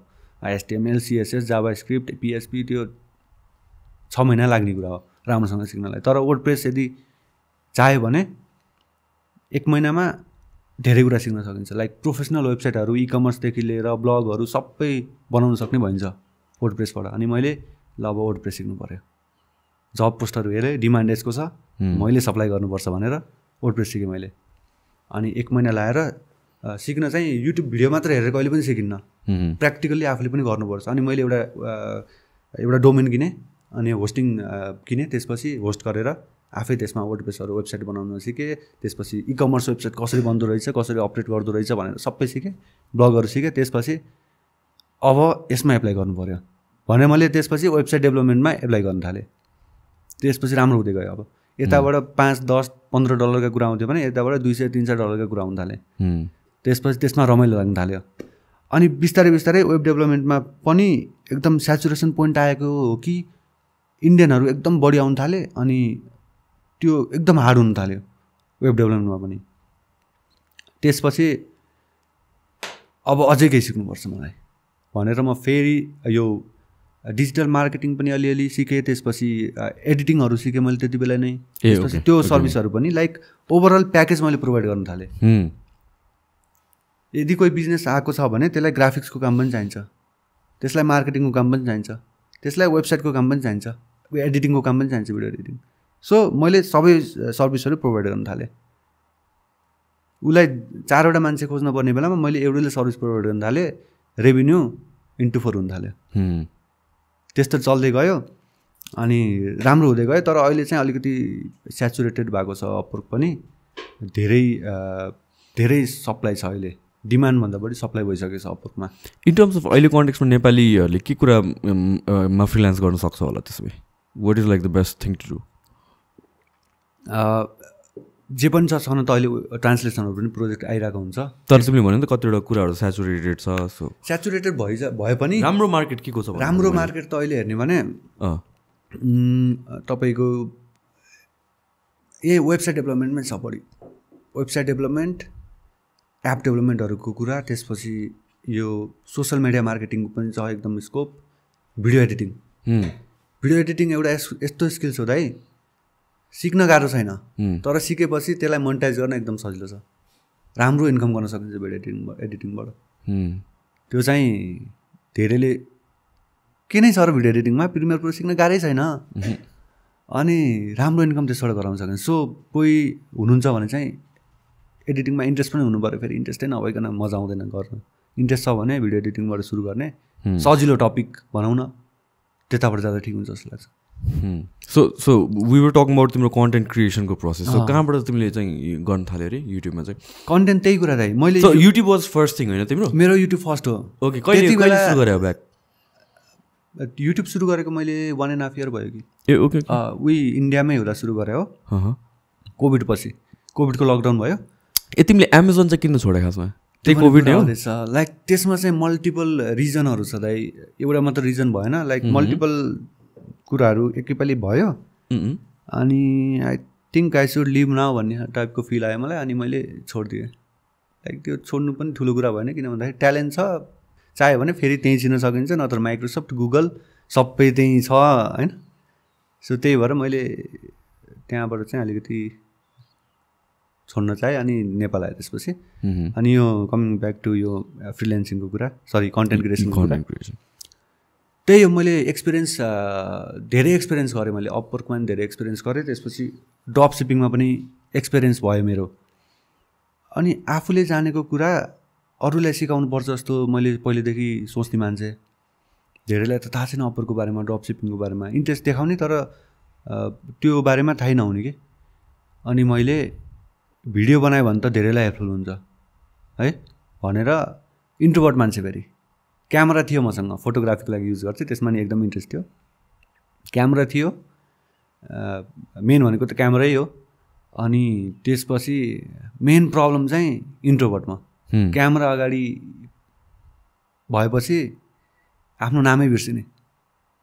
बक बक बक टाइपको हुने क्या के बोल्ने के बोल्ने हुने त्यसपछि अब एडिटिङमा त त्यही हो कट गर्न पाइन्छ फेरि त्यो फाइदा छ। अनि होइन गर्ने पऱ्यो भनेर अपवर्कको भिडियो मैले फर्स्ट मेरो भिडियो युट्युबमा अलिकति राम्रोसँग बनाएको भनेको फ्रिल्यान्सिङको भिडियो अपवर्कको भिडियो मैले हालेँ। बाह्र चौध मिनटको हालेँ एकदम राम्रोसँग हालेँ मैले। सुरुमा पेमेन्ट प्रुफहरू देखाएँ किन भन्दाखेरि पत्याउँदैन कि नेपालमा? हो। नेपालमा पत्याउँदैनन् किन भन्दाखेरि सिचुएसन नै त्यस्तै थियो मेरो बेलामा। मैले पनि सर्च गरेँ युट्युबमा अनलाइन इन्कम गर्ने के के वेजहरू छ भनेर युट्युबमा सर्च गरेँ नेपालको भिडियो हेरेँ। के बनाएको छ के बनाएको छ कि? एउटा एप छ गरे त्यो एप चलाएपछि महिनाको एक लाख दुई लाख कमाइन्छ गरे। कसरी हुन्छ? अनि मैले सोच्छु एउटा एप चलाएर कसरी हुन्छ? अनि थम्नेलहरूमा फेरि यस्तो क्लिक बेटी थम्नेलहरू हालिदिएको छन्। मैले सुरु गर्दा त्यस्तो लेजिट कन्टेन्ट बनाउने त्यस्तो क्लिक बेटहरू नगर्ने मैले भेटिनँ कि? यो यो अनलाइन इन्कमको जनरमा चाहिँ। त्यसपछि लेजिट वेहरू त छ मलाई थाहा छ मैले त बनाउनै पर्छ भनेर रिसर्च पनि गरेँ मैले। अनि त्यसपछि यसरी नै कन्टेन्ट क्रिएसन फिल्डमा लाग्छु भनेर प्लान त थिएन मेरो। जस्ट आफूले एक्सपिरियन्स गरेको कुराहरू सेयर गर्छु आफ्नो एक्सपिरियन्स सेयर गर्छु भन्ने प्लानले सुरु गरेको। तर के हुँदो रहेछ भन्दाखेरि त्यो फर्स्ट भिडियो नै एकदम हिट भयो भने कि सक्सेस भयो भने कि अहिलेसम्मको म्याक्सिमम् भ्युज आएको भिडियो त्यही नै हो। त्यसपछि के हुँदो रहेछ भन्दाखेरि एउटा कमे एउटा भिडियो बनाइसकेपछि त्यसमा कमेन्ट आउनु थाल्यो। अप्रोक त बनाइयो दाइ तर प्रोफाइल रिजेक्ट भयो। एप्लिकेसन कभर लेटर कसरी लेख्ने प्रपोजल कसरी लेख्ने भनेर मल्टिपल क्वेसन आउनु थाल्यो त्यसमा। अब एन्सर कसले दिने? मैले नै गराउनु पऱ्यो मैले त एउटा भिडियो बनाउँछु छोड्छु। त्यसपछि ड्रप सिपिङ गराउँछु छोड्छु। आफूले जानेकै ब्रिफ इन्फर्मेसन दिन्छु भनेको थिएँ तर त्यसपछि डिमान्ड आउनु थाल्यो। यो टपिकमा भिडियो बनाउनु पऱ्यो यो टपिकमा भिडियो बनाउनु पऱ्यो बनाउनै पऱ्यो त्यसपछि एउटा एउटा एउटा बनाउँदै गएको वान एन्ड हाफ इयर भएछ। म यहाँ छु आज। So so YouTube was it like most people तिमीलाई युट्युबबाट चिन्छ कि टिकटकबाट मैले त तिम्रो कन्टेन्ट देखाएँ टिकटकमा डेफिनेटली टिकटक किनभने इट्स स्टुड आउट के तिम्रो कन्टेन्ट कस्तो थियो भनेर भन्दाखेरि द क्वालिटी टिकटकको लागि क्वालिटी इट वाज एकदमै राम्रो क्वालिटी थियो कि। होइन किन टिकटकमा त ड्याङडुङ एकदमै र हुन्छ मोस्ट कन्टेन्टहरू तिम्रो चाहिँ त्यो ठ्याक्क मजाले लाइटिङ पनि मिलाएको छ क्यामरा पनि मिलाएको छ बुके पनि छ कलर क्रेडिट पनि छ अडियो क्वालिटी पनि राम्रो छ। सो त्यो स्क्रल गर्दाखेरि ठ्याक्क तिम्रोमा चाहिँ रोकिन्छ कि मान्छेको आँखा अडिन्छ अडिन्छ कि? अनि कपाल अफ टाइम सजेस्ट हुँदै गएपछि द्याट्स हाउ यु रेकग्नाइज हजुर, हजुर। योर सेल्फ तिमीलाई। हो। होइन? अनि सो त्यसपछि आई रियलाइज कि तिमीले ए युट्युबमा पनि कन्टेन्ट राख्दो रहेछ। तर I think most people know you from TikTok हो दाइ। टिकटकबाटै हो टिकटकको रिच फेरि एकदम छोटो अवधिमा एकदम म्याक्सिमम् रिच जाँदो रहेछ। कुनै कुनै भिडियोमा त मैले भिडियो हालेको वान आवरमै थ्री हन्ड्रेड फोर हन्ड्रेडकै भ्युज युट्युबमा कन्टेन्ट क्रिएट गर्ने बानी लगाएको टिकटक टिकटक मैले चलाउँथेन पहिला इन्डिया हुँदा ब्यान पनि थियो इन्डियामा त्यसपछि नेपाल आइसकेपछि मैले चलाउँथेन कि टिकटक इन्डियामा इन्डियामा ब्यान हुँदाखेरि हाउस रियाक्सन इन्डियामा के भएको थियो? कस्तो मलाई फेरि टिकटक किन मलाई टिकटक एकदम क्रिन्जी लाग्थ्यो कि पहिल्यैदेखि इन जेनरल पपुलेसनको पर्सेप्सनमा भन्नु खोजेको मैले ड्याङडुङ ब्यान गरिदियो नि त त्यहाँ। त ब्यान गरिदियो एक्कासी अँ त्यसपछि त अब आफू त्यो साइडमा नभएर कि मैले त्यो कुराहरू यादै भएन। याद भएन मलाई तर ठुल्ठुलो क्रिएटरहरू दिए टिकटकमा पनि उनीहरूलाई चाहिँ धक्का चाहिँ पऱ्यो अहिले पनि ब्यान्ड नै छ ब्यान नै छ अहिले पनि तर अरू त्यस्तो प्लेटफर्महरू आए। जसले ए, गर्दा इन्डियाकै platform yeah of course India China versus thing त्यो इन्फर्मेसनको कुरा। प्राइभेसीको कुराले अँ। चाहिँ हो। तर या त्यो बेला त TikTok I think as a platform त्यस्तो इभल्भ भएको थिएन कि। पहिला त कन्टेक्ट पहिला त नेपालमा पनि त्यही त थियो नि। लिपसिङ्किङ र डान्सिङ मात्र थियो होइन। अल द द्याट इज अहिले पनि मेन कन्टेन्ट त्यही होला तर थिङ्स लाइक इन्फर्मेसन र एक्चुअल इन्टरटेनमेन्टहरू एलिमेन्टहरू त्यो एड हुँदैछ कि। एज अ प्लेटफर्म नै इभल्भ हुँदैछ कि। लाइक तिम्रै कन्टेन्टहरू भनौँ होइन। मैले पनि आई ट्राइड एक्सपेरिमेन्टिङ सुरु सुरुमा। इट वाजन्ट डुइङ वेल के त्यस्तै डेढ वर्ष दुई वर्ष अगाडि गर्दाखेरि चाहिँ। किनभने त्यतिखेर त लिपसिङ मात्र चलिरहेको थियो। अनि मलाई वर्थ इट लागेको थियो। तर एज अ प्लेटफर्म चाहिँ बिस्तारै इभल्भ हुँदै गयो क्या and now it's a great platform it's a great. Tool होइन? सबै बिजनेस मलाई लाग्छ कसैको बिजनेस छ भने टिकटकमा आउनै पर्छ। फ्रीमा प्रमोसन हुन्छ। अफकोर्स त्यही त। फ्रीमा एकदम म्याक्सिमम् रिच पाइन्छ जब कि त्यही कुराको लागि बाहिर हजारौँ डलर खर्च गर्नुपर्छ। सो कुनै पनि बिजनेस टिकटकमा आउनै पर्छ मैले पहिला टिकटक रुचाउँदै रुचाउँदिनँ किन भन्दाखेरि धेरै क्रिन्जी कन्टेन्टहरू देखेँ नि एकदमै। आफूले टिकटक नचलाउने तर टिकटकको बारेमा चाहिँ बाहिर राम्रो इमेज चाहिँ थिएन टिकटकको। क्रिन्जी कन्टेन्टहरू हाल्ने भाइरल हुन भनेर जे पाइ त्यही गर्ने। त्यस्तो टाइपको इमेज थियो। अनि पछि नेपाल आइसकेपछि टिकटक मैले इन्स्टल गरिनँ। नेपालमा त थियो। इन्स्टल गर्न मिल्ने अप्सन त थियो मसँग तर मैले इन्स्टल गरिनँ। युट्युब नै गर्न थालेँ। त्यसपछि एकजनाले चाहिँ टिकटक पनि सुरु गर्नुपर्छ। यसमा नि राम्रो छ। धेरै रिच जान्छ। त्यहीँबाट युट्युबमा अडियन्सहरू पनि आउन मिल्छ भन्ने भन्नुभयो एकजनाले। त्यसपछि ट्राई गरौँ न त भनेर ट्राई गरेँ। सुरुमा ट्राई गर्दा त त्यही युट्युबकै मेरो क्लिपहरू कट गरेर हाल्न थालेँ। अनि कति भ्युज आइदिने। युट्युबमा त्यति बेला लाइक छ सात सय भ्युज आउन त एक हप्ता लगाइदिने टिकटकमा हालेछु एकछिनपछि रिफ्रेस गरेर छ सय भ्युज त्यस्तो हुन थाल्यो त्यसपछि त टिकटकमा नै गर्नुपर्छ। अब तर सिरियसली गर्नुपर्छ। अरूले जस्तो नाचेर लिप्सिङ गरेर भन्दा पनि युट्युब युट्युबमा जे गर्छु त्यही सर्ट फर्ममा टिकटकमा गर्ने त्यही न हो। अनि त्यसपछि मैले टिकटकको लागि ग्रान्ड गर्न थालेँ। माइक राखेर अडियो पनि राम्रो होस् लाइटिङ पनि राम्रो होस् क्वालिटी वाइज त मैले कम्प्रोमाइज गर्दै गर्दिनँ। स्पेसिफिकली फर टिकटक नै? टिकटकै लागि। ए ओके त अहिले त मैले अहिले त मैले टिकटकको लागि यो सेटअप गरेरै रेकर्ड गर्छु। तिम्रो मेन कन्टेन्ट जुन युट्युबको लागि छ नि त्यसको माइक्रो कन्टेन्ट टिकटकमा हाल्ने हो कि टिकटकको लागि सेपरेट नै कन्टेन्ट बनाउँछौ तिमी? त्यो दुइटै गर्दा। ए ओके ओके कतिपय कुराहरूको कतिपय टपिकको बारेमा चाहिँ युट्युबको कन्टेन्ट मैले टिकटकमा अलिकति सुरुमा अलिकति डिटेल भनेर बाँकी इन्फर्मेसन हजुरलाई चाहिन्छ भने मेरो युट्युब च्यानल चेक गर्न सक्नुहुन्छ। किन भन्दा भिडियो त लामो हुन्छ। अब टिकटकमा पाँच मिनटको भिडियो हाल्यो भने त हेर्दैनन् कसैले फेरि। त्यो प्लेटफर्मै त्यस्तै छ। त्यही भएर त्यो गर्नु थालेँ प्लस आइपिओको कुरा आउँछ। अनि आइपिओको भिडियो एउटा हालेँ त्यसपछि त्यसमा त एकदम राम्रो रेस्पोन्स आयो। उम्, डिमान्ड यसैमा रहेछ त मैले त सप्लाई दिनु पऱ्यो फेरि। त्यति बेला सायद यो आइपिओको जुन एनाउन्समेन्ट यस्तो यस्तो आउँदैछ भनेर चाहिँ कसैले पनि गर्थेन होला। जब त्यति बेला जब मैले सुरु गरेको थिएँ अहिले त धेरै आइसक्नु भएको अहिले त धेरैजना आइसक्नु भएको छ। अनि त्यसले पनि मेरो ग्रोथ एकदम छिटो समयमा म्याक्सिमम् ग्रोथ गराएको त यो आइपिओको भिडियोले तिमी स्टक्समा पहिलादेखि नै इन्ट्रेस्टेड थियौ इन्भल्भ थियौ? नेपाल आएपछि म। नेपाल आएपछि? लाइक इन्डियन त्यतातिर नजाउँ हामी। नेपाल आइसकेपछि नै भयो भनौँ न। ओके सो त्यो अनाउन्समेन्टको बारेमा तिमीलाई कस्तो थाहा हुन्थ्यो? ल यहाँ यहाँ आइपिओ खोल्दैछ यस्तो त्यो त सिम्पल छ नि त त्यो त सेयर संसार। सेयर संसार त्यहाँ न्युजहरू आउँछ मेरो लगानी त्यो त त अब यदि हामीले सेयर मार्केटमा इन्भेस्टमेन्ट गर्दैछौँ भने दिनको दुई तिन पालि चाहिँ तपाईँले सेयर संसार डट कम मेरो लगानी डट कम नेपाली पैसा चेक गर्नै पर्छ अपडेटेड हुनैपर्छ। तपाईँको आइपिओका कुरा आउँछन् कम्पनीको फाइनेन्सियल रिपोर्ट आउँछ। त्यति चेक गऱ्यो भने पनि धेरै कुरा सिकिँदो रहेछ। अरू कोर्सहरू लिएर यताउति गर्नुभन्दा पनि त्यति अपडेटेड भइराख्यो भने यो कम्पनीले यति प्रफिट गराइरहेको छ। यहाँ यो आइपिओ आउँदैछ यस्तो यस्तो ग्रोथ भइरहेछ यस्तो यस्तो हुनेवाला छ। सेभनको चेयरपर्सनको कुराहरू नेप्सेको चेयरपर्सनको कुराहरू धेरै कुरा त्यही न्युजबाटै थाहा थाहा पाइदो रहेछ। So you believe in long term investing long term investment नै बिलिभ गर्छु म. ट्रेडिङ चाहिँ गर्दिनँ किन भन्दाखेरि म मेरो प्राइमरी त स्टक्स त होइन नि त मेरो। अब स्टक मार्केटको ट्रेडर भएको भए त इलेभेन टु थ्री त त्यसैमा लाग्नुपर्छ। अब मेरो त आफ्नै अरू मल्टिपल कुराहरू छ त्यही भएर यता मैले टाइम दिनै भ्याउँदिनँ। अपडेटेड पनि जस्ट खोलिरहेको हुन्छु तर त्यस्तरी टाइम दिन चाहिँ मैले भ्याउँदिनँ। यो आइपिओहरू आउँछ नि त बेला बेलामा? अब the number of people who apply for the IPO यति धेरै छ कि सबैलाई पर्दैन कि? केही तरिका छ जसले चाहिँ हुन्छ नि? त्यस्तो त। Can give you an advantage so it is एकदम लटरी जस्तै भएर आइसक्यो अहिले त। होइन त? अँ अहिले त गाह्रो छ। अब डिम्याट एकाउन्टको युजर नै फोर्टी एट ल्याक्स पुगिसके। नागिसक्यो फोर्टी एट ल्याक्स अब अहि- अहिले यो जुन रिसेन्ट आइपिओ खुलेको छ सायद अहिले पनि छ। त्यसमा जम्मा फिफ्टी थाउजन्डले दस किताब पाउँछन् टोटल भर्नी चाहिँ त्यसमा लगभग तिस लाखले भर्छन् होला। Out of thirty lakhs fifty थाउजन्डले जम्मा दस किताब पाउँछ त्यही भएर आइपिओ पाउ पाउनु चाहिँ अब गाह्रै पर्छ तर आइपिओमै डिपेन्डेन्ट भएर चाहिँ बस्नु पनि खासै ठिक होइन जस्तो लाग्छ किन भन्दाखेरि सेकेन्डरी पनि एकदम राम्रो स्कोप छ इफ लङ टर्म होल्ड गर्ने एकदम एकदम राम्रो छ नि। त्यही भएर आइपिओमै मलाई चाहिँ के भन्नुहुन्छ त्यहाँ कमेन्टमा भन्दाखेरि. यो मान्छेले गर्दा हामीलाई आइपिओ पर्न छोडो गरे। मान्छेहरूको सोच के छ भन्दाखेरि लङ टर्ममा नहेर्ने सर्ट टर्ममा हेर्ने। आज हामीलाई आइपिओ परेन यो मान्छेले फुकेर।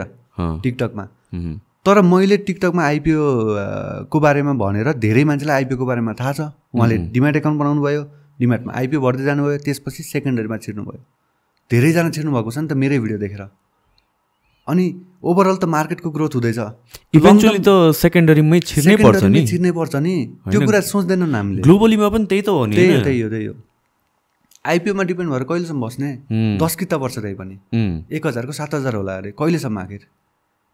अनि त्यही भएर चाहिँ त्यो कुरा चाहिँ लङ टर्ममा सोच्ने बानी नै छैन कि नेपालीहरूको? सर्ट टर्म सोच्ने सर्ट टर्ममा पैसा चाहियो। पैसा लाइक आजको भोलि डबल गराउनु पर्ने अनि यो चाहिँ यसले गर्दा हामीलाई आइपिओ पर्न छोडो भन्ने क्या। रिलेटिभली नयाँ मार्केट भएर पनि होला नि बिकज अफ लकडाउन एकैचोटि मान्छेहरूले के गरौँ के गरौँ भयो पैसा कहाँ राखौँ भनेर भनेपछि स्टक मार्केट देख्यो। अनि आई थिङ्क त्यो नलेज पनि अहिले त्यति धेरै भएको छैन। अनि मान्छेले के पनि बुझ्यो भने स्टक मार्केटमा सर्ट टाइममा एकदमै फास्ट इन्कम जेनेरेट गर्ने त्यो वेले हेऱ्यो कि? त्यो वेलेहरू होइन किनभने most people of course they are there are traders तर इफ मोस्ट पिपल हेर्ने हो भने सक्सेसफुल पिपल हेर्ने हो भने चाहिँ उनीहरू लङ टर्म भ्याल्यु इन्भेस्टिङ नै गर्ने हो। दाइ होइन over a period of ten years fifteen years twenty years thirty years त्यो पोइन्ट अफ भ्यूले हेर्ने हो भने त तिमीले फन्डामेन्टल कम्पनी राम्रो कम्पनीहरू त तिमी जुन प्राइसमा अहिले उठायो भने पनि it is going to be profitable भन्ने कुरा प्रफिटेबल हो हुन्छ। एकदम प्रफिटेबल हुन्छ। होइन? दुई दुई दुई तिन दुई चार पर्सेन्टको तलमाथिको कुरा होला होइन? तर लङ रनमा त दस बिस वर्षपछि हेर्ने हो भने त इट इज फर द्याट एकदम एकदम। एकदम प्रफिटेबल हुन्छ। सो अनि सो टिकटकमा अनि तिमीले गर्न थाल्यो अनि के भयो अरे टिकटकमा टिकटक सुरु गरेपछि त्यसमा छुट्टै मजा छ दाइ फेरि। युट्युबमा भिडियो हालिराख्ने मान्छेलाई त टिकटकमा त्यो टिकटकको इङ्गेजमेन्ट त्यसमा आएको भ्युज देख्दा त छक्कै परेन। तर त्यसको भ्युजलाई it's not as valuable as युट्युबको जस्तो नि होइन? भ्यालुएबल त रिच चाहिँ फेरि दामी नयाँ अडियन्सहरूतिर चाहिँ branding- डिस्कभरेबिलिटी चाहिँ। ब्रान्डिङको लागि त? एकदम बेस्ट टिकटक त ब्रान्डिङको लागि एकदम बेस्ट छ। तर ओभरअल हेर्ने हो भने टिकटक एउटा राम्रो प्लेटफर्म एकदम यदि राम्रोसँग युज गर्यो। एक्ज्याक्ट डिपेन्ड्स अन तर चाहिँ टिकटकलाई धेरैले चाहिँ मैले देखेअनुसार राम्रोसँग युज गर्नै जानेको छैनन् कि? अफकोर्स त्यही त हो नि। टिकटकलाई एकदम राम्रो सोर्स अफ इन्कमको रूपमा पनि लिन सकिन्छ। So not by going live है। अँ, त्यो लाइभको कुरा म गर्दिनँ किन भन्दाखेरि त्यो त्यो त्यो अलि डिफ्रेन्ट कुरा छ। त्यो कुरा नगरौँ आज, होइन? हामीले धेरै कन्टेन्ट क्रिएटरले चाहिँ टिकटक किन चलाउनुहुन्छ भन्दाखेरि फेम फेमको लागि। भिडियो भाइरल गराउनेमा बढी फोकस हुन्छ। के गर्दा भिडियो भाइरल हुन्छ? त्यसमा बढी फोकस हुन्छ। अनि त्यसले गर्दा चाहिँ तपाईँको भिडियो भाइरल त भयो। ठिक छ वान मिलियन सब्सक्राइबर भयो फलोवर भयो। भ्युज पनि राम्रै आउनु थाल्यो भाइरल हुनु थाल्यो मान्छेहरूले चिन्न थाले। एक वर्ष भयो कन्टेन्ट क्रिएट गर्न थालेको। मेहनत लाग्छ नि टिकटक बनाउनु पनि। त्यसपछि के त? यदि उसले टिकटकलाई इन्टरटेनमेन्ट पर्पजको लागि हेर्छ भने ठिकै छ दिनको दुई घन्टा स्पेन्ड गरेछ रमाइलो भइरहेछ अडियन्सहरू पनि इङ्गेज भइरहेको छन् सबैले चिनिरहेको छन् फेम आइरहेको छ। तर त्यसपछि के त? त्यो चाहिँ हामीले नसोच्ने। टिकटकलाई एकदम राम्रोसँग मोनिटाइज गर्न सकिन्छ। कसरी के गर्न सकिन्छ? स्पोन्सरसिप कुराहरू ब्रान्डको प्रमोसनहरूको कुरालाई लिएर एकदम राम्रो प्लेटफर्म छ। किन भन्दाखेरि सिम्पल भिडियोहरूमा पनि हन्ड्रेड के टू हन्ड्रेड के भ्युज आउँछ। ब्रान्डहरूलाई चाहिने भनेको त्यही त हो। ब्रान्डिङको लागि। त्यो कुराहरूमा चाहिँ एकदम कम मान्छे देखिएँ मैले टिकटकमा। त्यो त्यो छैन कि त्यो अब ब्रान्डलाई एट्र्याक्ट गर्नको लागि त्यही अनुसारको कन्टेन्ट हुनु पऱ्यो फेरि। ब्रान्डलाई अप्रोच गर्ने कसरी नि त? ब्रान्डले तपाईँलाई डिस्कभर गर्छ कि तपाईँले ब्रान्डलाई अप्रोच गर्ने हो? त्यो बोथ वेजबाट हुन्छ। अब मोस्टली त ब्रान्डले नै एप्रोच गर्छ। नत्र यदि ब्रान्ड्सले ब्रान्डले एप्रोच गरेको छैन तर आफ्नो एउटा अडियन्स बेस राम्रो छ इङ्गेजमेन्ट राम्रो छ भने आफैले ब्रान्डलाई एप्रो एप्रोच गर्न सकिन्छ। त्यसमा पनि त्यो त्यो बारेमा पनि धेरैलाई थाहा नहुन सक्छ। एप्रोच गर्नुपर्छ। हुँ, हुँ। आफू आफ्नो कन्टेन्टसँग रिलेटेबल हुने ब्रान्डहरू छ भने इमेल गरिदिने। के बिग्रियो र? एउटा राम्रो प्रपोजल जस्तो बनाउने यस्तो यस्तो हो मेरो यो युजर बेसहरू छ। मेरो भिडियोहरूमा यति एभरेज भ्युज आउँछ यति फलोवर छ। अनि मैले तपाईँको ब्रान्ड अथवा तपाईँको प्रोडक्टलाई यसरी प्रमोट गर्न सक्छु मेरो टिकटकको माध्यमबाट भन्यो भने राम्रोसँग इमेल पठाउनु भने रिप्लाई आउँछ दाइ। आई थिङ्क अहिलेको बिगर ब्रान्ड्सहरूले पनि देखिरहेको छ। टिकटकलाई एउटा लेजिट प्लेटफर्म जस्तो लिन्छ नि त। पहिला त अब कस्तो थियो भनेपछि टिकटकमा सँग एसोसिएट हुने कि नहुने भन्ने थियो नि त। बिकज कन्टेन्ट नै त्यस्तै मात्र थियो। अब अहिले पनि नभएको चाहिँ होइन कि तर जे कुरामा पनि when there are lot of people doing the same thing त्यो कम्पिटिसनले गरेर नै क्रिम अफ द क्रिम टपमा आउँछ नि त। सो आई थिङ्क टिकटकमा त्यो चाहिँ अहिले भइरहेको छ कि वेयर जसले पनि टिकटक बनाउन सक्छ जसले पनि बनाएको छ। तर टपमा को आइरहेछ लङ टाइमसम्म भन्नु भने जसले चाहिँ एउटा भ्याल्यु एड गरेर आएको छ भनौँ न पिपललाई bit entertainment or information information मात्रै हुनु पनि जरुरी छैन इन्टरटेनमेन्ट नै भए पनि। तर it needs to add value to people life त्यही त यस्तो हुनु पऱ्यो कि त इन्फर्मेटिभ हुनु पऱ्यो अँ। मेरो केसमा हेर्ने भने इन्फर्मेटिभ हुन्छ। इन्टरटेनमेन्ट त नो वे इन्टरटेनमेन्टको कुरा आउँदैन मेरो कन्टेन्टहरू त। कसैको डान्सहरू हुन्छ सिङहरू हुन्छ त्यो इन्टरटेनमेन्ट साइड आयो। फन्नी क्लिपहरू हुन्छ। अब त्यो दुइटामा चाहिँ आफू अडिक हुनु पऱ्यो कि त इन्फर्मेटिभ साइड जानु पऱ्यो कि त इन् इन्टरटेनमेन्ट साइड जानु पऱ्यो अथवा त्यसलाई मिक्स पनि गर्न सक्यो। तर त्यो बाहेकको कन्टेन्ट क्रिएट गर्ने फेरि धेरै छन् नेपालमा। हो। अनि उनीहरूको प्लान के त? फेमको लागि हो टाइम पासको लागि भने त ठिक छ एकदम राम्रो प्लेटफर्म। तर मेहनत लागेछ भने त्यसबाट आफूलाई अलिकति रिटर्न मिले हुन्थ्यो भनेर पनि सोच्नुपर्छ। Most people I don't think रिटर्नको बारेमा त। रिटर्न भने नै फेम मात्र हो for lot of people who get into TikTok especially त्यो चाहिँ अलिकति गलत थिङ्किङ हो जस्तो लाग्छ। अब अब उहाँहरूलाई यसरी बताइदिने मान्छे नभएर पनि होला। अब यस्तो पनि गर्न सकिन्छ है। आफ्नो कन्टेन्टहरूलाई अलिकति इम्प्रुभ गरेर अलिकति लेजिट कन्टेन्ट हालेर अगाडि बढ्यो भने यस्तो यस्तो अपर्च्युनिटीहरू पनि आउनसक्छ। टिकटकमा हेर्नु न हाम्रो अमर अमृतलाई चिन्नुहुन्छ? ट्विन ब्रदर उहाँहरूलाई कन्टेन्ट एकदम क्लिन छ। हाम्रो ट्विनी प्रिन्सी उहाँ दुई दुईजनाको चाहिँ कन्टेन्ट एकदम क्लिन छ। डान्स हुन्छ मोस्टली कन्टेन्ट एकदम क्लिन छ। क्लिन कन्टेन्ट भन्छु म उहाँको लागि डान्स भयो भने है। अपर्च्युनिटी हेर्नु कति छ? ब्रान्ड प्रमोसनको कमी नै छैन। मैले हेरिरहेको हुन्छु। यसो अब्जर्भ चाहिँ मैले एकदम गर्छु। ब्रान्डहरू कता एट्र्याक्ट भइरहेछ त किन एट्र्याक्ट भइरहेछ त भनेर मैले यसो अब्जर्भ गरेर हुन्छु। त्यतातिर एट्र्याक्ट भइरहेछ। तर त्यही लेभलको फलोवर भएको त्यही लेभलको इङ्गेजमेन्ट आउने त्यही लेभलको भ्युज आउने अरू कन्टेन्ट क्रिएटरतिर ब्रान्ड एट्र्याक्ट भएको छैन धेरै केसमा। किन भएन त? ब्रान्डले आफूलाई एसोसिएट नै एसोसिएट नै गर्न चाहँदैन। किन भन्दाखेरि उसको कन्टेन्टमा कि त अलिकति भल्गारिटी हुनसक्यो पोजिटिभ लाइक भल्गारिटी नै भनौँ। कि त अलिकति कस्तो भन्ने अब? अलिकति ब्रान्ड एसोसिएट हुन नखोज्ने खालको कन्टेन्ट। भइसकेपछि चाहे त्यसमा त्यो त्यो कन्टेन्ट क्रिएटरको मिलियनमा भ्युज आओस् कि मिलियनमा फलोवर होस् ब्रान्ड जोडिँदैन। त्यो कुरा चाहिँ ख्याल गर्नुपर्छ त्यही भएर यदि आफ्नो टाइम इन्भेस्ट गरिरहेको छ मिहिनेत गरिरहेको छ भने। केही रिटर्न आयो भने त बेटर हुन्छ नि त एउटा सिरियस। प्रपर बिजनेस जस्तै लजिट वेमा सोच्नु पऱ्यो। प्लान गर्नु। पऱ्यो। अब अहिले चाहिँ ट्रेन्ड आएको भनेको लाइफ जाने हो होइन। बिकज मान्छेहरूले त्यो मात्र एउटा सोर्स अफ इन्कम देखिरहेको छ। अब गर्नलाई इट इज गुड होइन? दिने दिइरहेछ लिने लिइरहेछ पर्फेक्ट होइन? दिनले पनि किन दिइरहेछ भने because they are entertainment entertained they they want to आफ्नो मनबाट होइन? लिनले अफकोर्स लिने हाल्छ। तर त्यो भन्दा पनि बाहेक अरू चिजहरू छ कि? होइन? फर इक्जाम्पल तिमीले नै भने जस्तो ब्रान्ड एसोसिएसनहरू नाउ सो अब ब्रान्ड्सहरू पनि टिकटकमा छिर्न खोजिरहेको छ अहिले रियलाइज गरिरहेको छ कि लाइक यो छुटेर जानु हुँदैन त्यो सिप selling. So one way is to get associated with creators अर्को भन्नु भनेको ब्रान्ड्सले नै आफै पनि क्रिएट गरेर आएको छ। तर कतिवटा कन्टेन्ट इट्स भेरी क्रिन्स कि ब्रान्डले आफूलाई प्लेस नै गर्न सकेको छैन जस्तो लाग्छ कि। It's doing more harm than good जस्तो लाग्छ। हो, कतिवटा कन्टेन्टहरू हेर्दाखेरि त्यस्तो गरेछ what would be. Like a better approach के? ब्रान्डहरूको लागि? ब्रान्डहरूको लागि? कम्पनीजहरूको लागि? किन यो त डिस्कभर हुने त एकदम खतरा प्लेटफर्म हो नि त नयाँ platform युट्युबमा त यसरी डिस्कभर हुँदै हुँदैन कि? हुँदैन। युट्युबमा चाहिँ इभेन्चुली यो रोल इन्टु यो सब्सक्राइबर सब्सक्राइबर सब्सक्राइबर्सहरू होइन? रिटर्निङ पिपलहरूलाई मेन प्रायोरिटी छ नि त होइन? सम वेमा चाहिँ। तर टिकटक जुन वेमा नयाँ क्राउडलाई रिच आउट गरिदिन्छ नि त द्याट इज अमेजिङ एकदम। त्यही त युट्युब युट्युबको पनि सिनेरियो हेर्ने भने त लङ टर्ममा कुनै पनि अडियन्सलाई इङ्गेज गरिराख्न सक्यो भने एउटा लङ टर्म छ क्या युट्युब तपाईँले आज बनाएको कन्टेन्ट तपाईँको दुई वर्षपछि पनि त्यसमा भ्युज आइरहेको हुन्छ सर्चबाट त्यसमा रेभेन्यू पनि आइरहेको हुन्छ। त्यस्तो छ। तर टिकटकमा अब मैले एक वर्ष अगाडि बनाएको भिडियोमा अहिले केही पनि छैन। हल्लीचल्ली नै छैन। आज हालेको भिडियोमा हल्लीचल्ली छ तर एक वर्ष अगाडिको भिडियोमा हल्लीचल्ली नै छैन।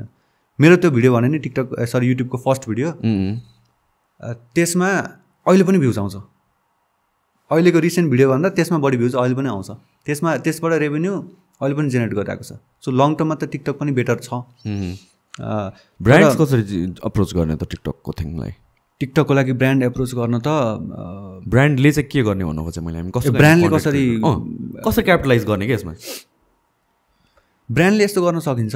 ब्रान्डले अब आफ्नै टिकटक एकाउन्ट क्रिएट गरेर पनि धेरै ब्रान्ड आएको छन् तर तिनीहरूले तिनीहरूले अलिकति नजानेर हो कि मिस्टेक गरिरहेको छन् बढी। होइन अलिकति आफूलाई प्रेजेन्ट गर्ने वे हुन्छ नि अलिकति इमेज नै बिगारिरहेको छ इमेज। बिगाइरहेको छन् बेला त। अब त्यो कुरा त नगर म्या तर इमेज बिगाइरहेको छन्। त्यस्तो गऱ्यो भने त के काम लाग्यो त? ब्रान्डिङको लागि आउने अनि ब्रान्ड इमेज नै बिगारेर त भएन। त्यस्तो इमेज बनाउन सकेन भने बरु आफ्नो फिल्डको कन्टेन्ट क्रिएटरलाई चान्स दिने उनीहरूको थ्रु प्रमोट गराउने। अहिले त कस्तो ठुल्ठुलो ब्रान्डहरू पनि टिकटकमै बढी एट्र्याक्ट भएको देखेँ मैले। ठुल्ठुलो ब्रान्डहरू त्यही भएर राम्रो राम्रो छ एकदम राम्रो प्लेटफर्म छ आई थिङ्क के भन्छ छुट्टै टिम बनाउनु पऱ्यो आफ्नो well thought out plan execute गर्नु पऱ्यो होइन? त्यो हावामा एकदमै एज अ फ्लुक बनाए हेरौँ न त एउटा जस्ट कुनै सङ एउटा भाइरल भयो भने गरिदिइहाल्यो हालौँ सबजना इम्प्लोइलाई जबरजस्ती एक्ट गराइदिइहालौँ भने त्यो अप्रोच चाहिँ हुनु भएन। जबरजस्ती अँ। लङ रन एउटा प्लान हुनुपर्छ just like any other platform पनि होइन? त्यसलाई पनि टिकटकलाई पनि सिरियसली लिनु पऱ्यो नट जस्ट ट्रेन्ड कसरी ट्रेन्डको वेभ कसरी क्याच गर्ने त्यो हिसाबले पोइन्ट अफ भ्यूले मात्र हेरेर चाहिँ भएन। अँ त्यही त। अहिले तपाईँले उस देख्नु भएको छ कि अप ट्रेन्डलीको बारेमा? अँ। इन्फ्लुएन्सर म्यानेजमेन्ट कम्पनी है? अँ। इन्फ्लुएन्सर मार्केटिङ सायद। उसले के गरेको छ भन्दाखेरि टिकटकको कन्टेन्ट क्रिएटरलाई आफ्नो ट्याग दिएको छ भन्ने कि के भन्ने तिमीहरूले कन्टेन्ट क्रिएट गरौ। आई थिङ्क मन्थली फाइनेन्स उनीहरूले प्रोभाइड गरेको छ अप ट्रेन्डलीले ए ओके उनीहरूले कन्टेन्ट क्रिएट गर्छन् अप ट्रेन्डलीको ब्रान्डिङ ब्रान्डिङबाट त्यताबाट त्यताबाट। अप्टेन हरेक भिडियोमा लाइक अप्टेनलीको ह्यासट्याग उनीको त्यो अनुसारको लाइक अप्टेनलीलाई मेन्सन गरे हुन्छ। त्यो नयाँ नयाँ नयाँ वे भयो त्यो। मैले देख्दैछु दुई तिनवटा प्रोफाइल त्यस्तो बनिसकेछ। त्यो पनि एउटा नयाँ एप्रोच हो। सो त्यो बिस्तारै बिस्तारै हुने। Apparently was one of the first people companies that actually started यो इन्फ्लुएन्सर मार्केटिङ नेपालमा चाहिँ होइन? त्यसपछि कतिवटा आएँ कतिवटा गएँ होइन? छन् अरूहरू पनि। They were like the first ones to do it like एउटा। हो। सो तिमीले अघि एउटा एउटा कुरा गर्यो नि त जुन लाइक एप चलाएर यति कमाउने उति कमाउने त्यस्तो स्क्याम्सहरू थुप्रै छ क्या आई हर्ड अबाउट यो पिरामिड स्क्याम स्किम्सहरू एन्ड अल द्याट थिङहरू हजुर हजुर। Um, सुन्दाखेरि चाहिँ इट साउन्ड्स बिलिभेबल जस्तो लाग्छ होइन? जुन हिसाबले चाहिँ अब इट एउटा ट्रेनिङ नै हुन्छ होला आई वुड अजिम उनीहरूको। होइन कि यसरी पिच गर्ने भनेर चाहिँ। कन् यसरी कन्भिन्स गराउने भनेर चाहिँ। अनि सुन्दाखेरि चाहिँ फर अब for lot of people it sounds एकदमै रियलिस्टिक नै तर भित्र चाहिँ कुरा अर्कै हुन्छ क्या? अर्कै हुन्छ। यो यो दुइटा दुइटा पार्ट छ यसमा। एउटा यो अनलाइन क्याप्चर टाइपिङ जब अथवा अनलाइन टाइपिङ जबको स्क्याम त एकतिर छँदैछ। त्यसलाई नेटवर्किङतिर चाहिँ छुट्यो। नेटवर्किङको कुरा हामीले पछि गर्छौँ। ओके अहिले चाहिँ अनलाइन जब स्क्यामको बारेमा। म पनि परेको छु कि यसमा फेरि। ए हो र? कस्तो। कस्तो ए इन्डियाको छुट्टै ए सेम हो। सेम हो कन्सेप्ट सेम हो। इन्डियामा इन्डियाको वेबसाइट नै छुट्टै कम्पनी छुट्टै। कम्पनी छुट्टै रजिस्टर्ड कम्पनी हुन्छ नेपालमा म एकछिन अघि नै कुरा गरिहालेँ। नेपालमा फ्रिल्यान्सर्सको लागि कुनै त्यस्तो प्लेटफर्म छ कि छैन अहिलेसम्म? अहिलेसम्म त्यस्तो कम्प्लिटली लन्च भइसकेका टाइपको त छैन तर आउँदैछ। एक दुइटा प्लेटफर्महरू आउँदैछ। अब हेरौँ कस्तो पर्फर्म गर्छ कम्पनीले ओके सो अपवर्क नै ठिक छ नि। अँ। अनि मैले त्यही मैले के सोचेको भने नेपालको कन्टेक्समा पनि फ्रम कम्पनीज साइड भनौँ कम्पनी साइडबाट companies side that would be a good market हुन्थ्यो। या बिजनेस होइन? किन कसैले सोचेको छैन? मात्र मैले बुझ्न खोजेँ चाहिँ। त्यसको लागि पनि अब टिम पनि त्यस्तै चाहियो इन्भेस्टमेन्ट चाहियो। इन्भेस्टमेन्ट मेन भनेको त बिजनेसलाई अलिकति इस्टाब्लिस गर्न प्रोडक्ट त अब डेफिनेटली राम्रो हुनै पऱ्यो प्रोडक्ट राम्रो भइसकेपछि पनि मार्केटिङमा पनि खर्च आउँदो रहेछ धेरै। नेपालमा मेन प्रब्लम नै त्यही आउँछ फेरि। धेरै ब्रान्डहरूलाई माथि उठ्नको लागि सपोर्ट फाइनेन्सियल सपोर्ट अनि यो स्क्यामको कुरा गराउँदै. एकदम गर्न। अनलाइन जब भन्छ उनीहरूले। अनि यो बाटो बाटोमा पनि हुन्छ। पोलहरूमा अनलाइन जब इन्डियाको कुरा गरेँ तिमीले? कि नेपालमा नेपालकै? इन्डियाकै। जहाँ। पनि। नेपालमा पनि त्यस्तो छ? नेपालमा पनि छ ओके, नेपालमा त काठमाडौँमै छ। मोस्टली अब नाम लिने भने त डिफेमेसनको केस पपुलर रहेछ नेपालमा है। यत्तिकै भन्यो भने डिफेमेसन केस लगाइदिने। नाम त थाहा छ मलाई भन्नु भएन। उनीहरूले के गर्दो रहेछन् भन्दाखेरि टार्गेट एज ग्रुप भर्खर एसएलसी दिएको स्टुडेन्टहरू अनि हाउसवाइफहरू उनीहरूलाई टार्गेट गर्ने। अनि फर्स्ट उनीहरूको फर्स्ट इम्प्रेसन चाहिँ के भन्छ उनीहरूले भन्दाखेरि अनलाइन जब घरै बसी बसी मोबाइल चलाएर महिनाको पन्ध्रदेखि बिस हजार। इन्ट्रेस्टिङ इन्ट्रेस्टिङ सुनेन घरै बसी बसी महिनाको पन्ध्रदेखि बिस हजार मोबाइल चलाएर।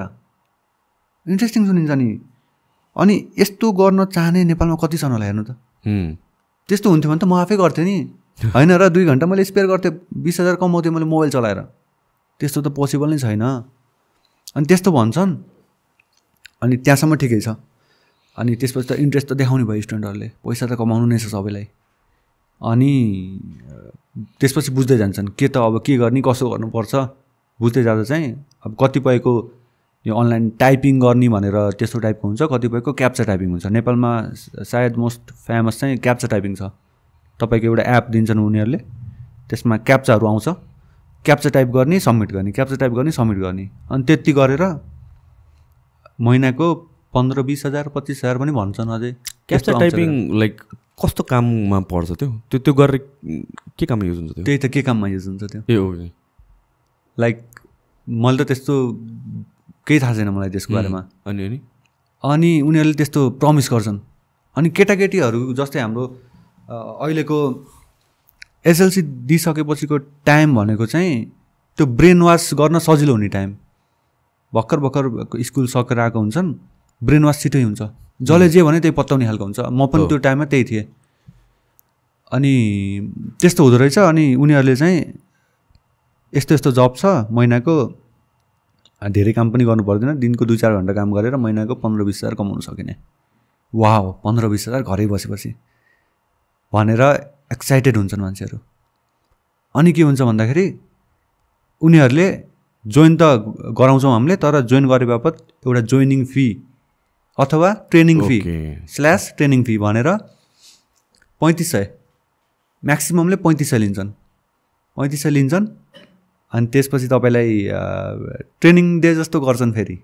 वाट्सएपमा कल गर्छन् अनि त्यसपछि यस्तो यस्तो हो यो एप यसरी खोल्ने हो यसरी साइन इन गर्ने हो अनि यहाँ तपाईँलाई क्याप्चा आउँछ। तपाईँले क्याप्चा टाइप गर्ने सब्मिट गर्ने। गर्दै जानु पैसा कमाउँदै जानु भन्छन् अनि त्यसपछि त्यति हो ट्रेनिङ। ट्रेनिङ त्यति हो दाइ। जुन पैँतिस सय जुन लिएको थियो त्यतिको लागि। अनि यस्तो नेपाली नेपालीमा पनि हुन्छ नेपाली कम्पनी नेपालकै कुरा हुँदा यो त। इन्डियाको अलिकति छुट्टै छ जुनमा मै फसेको थिएँ नि त Nepali. Let's start with this अनि? त्यस्तो हुन्छ त्यसपछि क्याप्चा टाइप गर्न थाल्छन्। क्याप्चा टाइप गर्न थाल्छन् गर्छन् गर्छन् गर्छन्। छैन कि? रिटर्न नै छैन। आउँदैन। सो यसबाट त काम गर्छ होला त्यसपछि मात्र रियलाइज गर्छ होला नि त। उनीहरूले त्यही त उनीहरूले चार पाँच दिन अथवा एक हप्ता काम गर्छन् गरेहन् गरेहन् गरेहन् रेभेन्यू खै त आउँदैन। त्यहाँ त कोइन सोइन उनीहरूको हुन्छ होला केही त्यसलाई छ जेनेरेट नै भएको छैन। त्यस्तो हुन्छ ल के भएछ? त्यसपछि बल्ल सर्च गर्दा रहेछन् फेरि युट्युबमा अनलाइन क्याप टाइपिङ जब अनलाइन स्क्याम भनेर सर्च गर्छन् मेरो भिडियो माथि आउँछ। ओके मेरो भिडियो माथि आउँछ त्यो फेरि लाइक ऱ्याङ्क भएको छ। अनि त्यो भिडियोको कमेन्ट हेर्ने भने हन्ड्रेड्स अफ कमेन्ट के? त्यसमा मेरो पच्चिस सय ठग्यो। मेरो पैँतिस सय ठग्यो भने धेरैको छ। अनि धेरै धेरै मध्ये चाहिँ त्यो एघार बाह्रमा पढ्ने अनि भर्खर स्टुडेन्टहरू अनि हाउसवाइफहरू चाहिँ बढी ठगेको देखेँ मैले। अनि त्यसमा पनि एउटा सल्युसन सधैँ फेरि। धेरैलाई त थाहा नभएर ठगेको हुन्छ है। अनि सुरुमा यो जोइनिङ गर्ने बेलामा पनि उनीहरूले कन्ट्र्याक्ट जस्तो साइन गराउँछन् कि यो नन रिफन्डेबल पैसा हो। भनेर त्यो उनीहरूको एउटा होइन एग्रिमेन्ट टाइपको कन्ट्र्याक्ट साइन गराएको हुन्छन्। अनि नन रिफन्डेबल सकियो। त्यो ट्रेनिङ फेरि रिफन्ड हुँदैन। तर उनीहरूले त स्क्याम गरे त्यहाँ। प्रमिस एउटा गराए तर त्यो प्रमिस गरे अनुसार त पैसा रिटर्न त पाउनेवाला छैन कसैले पनि।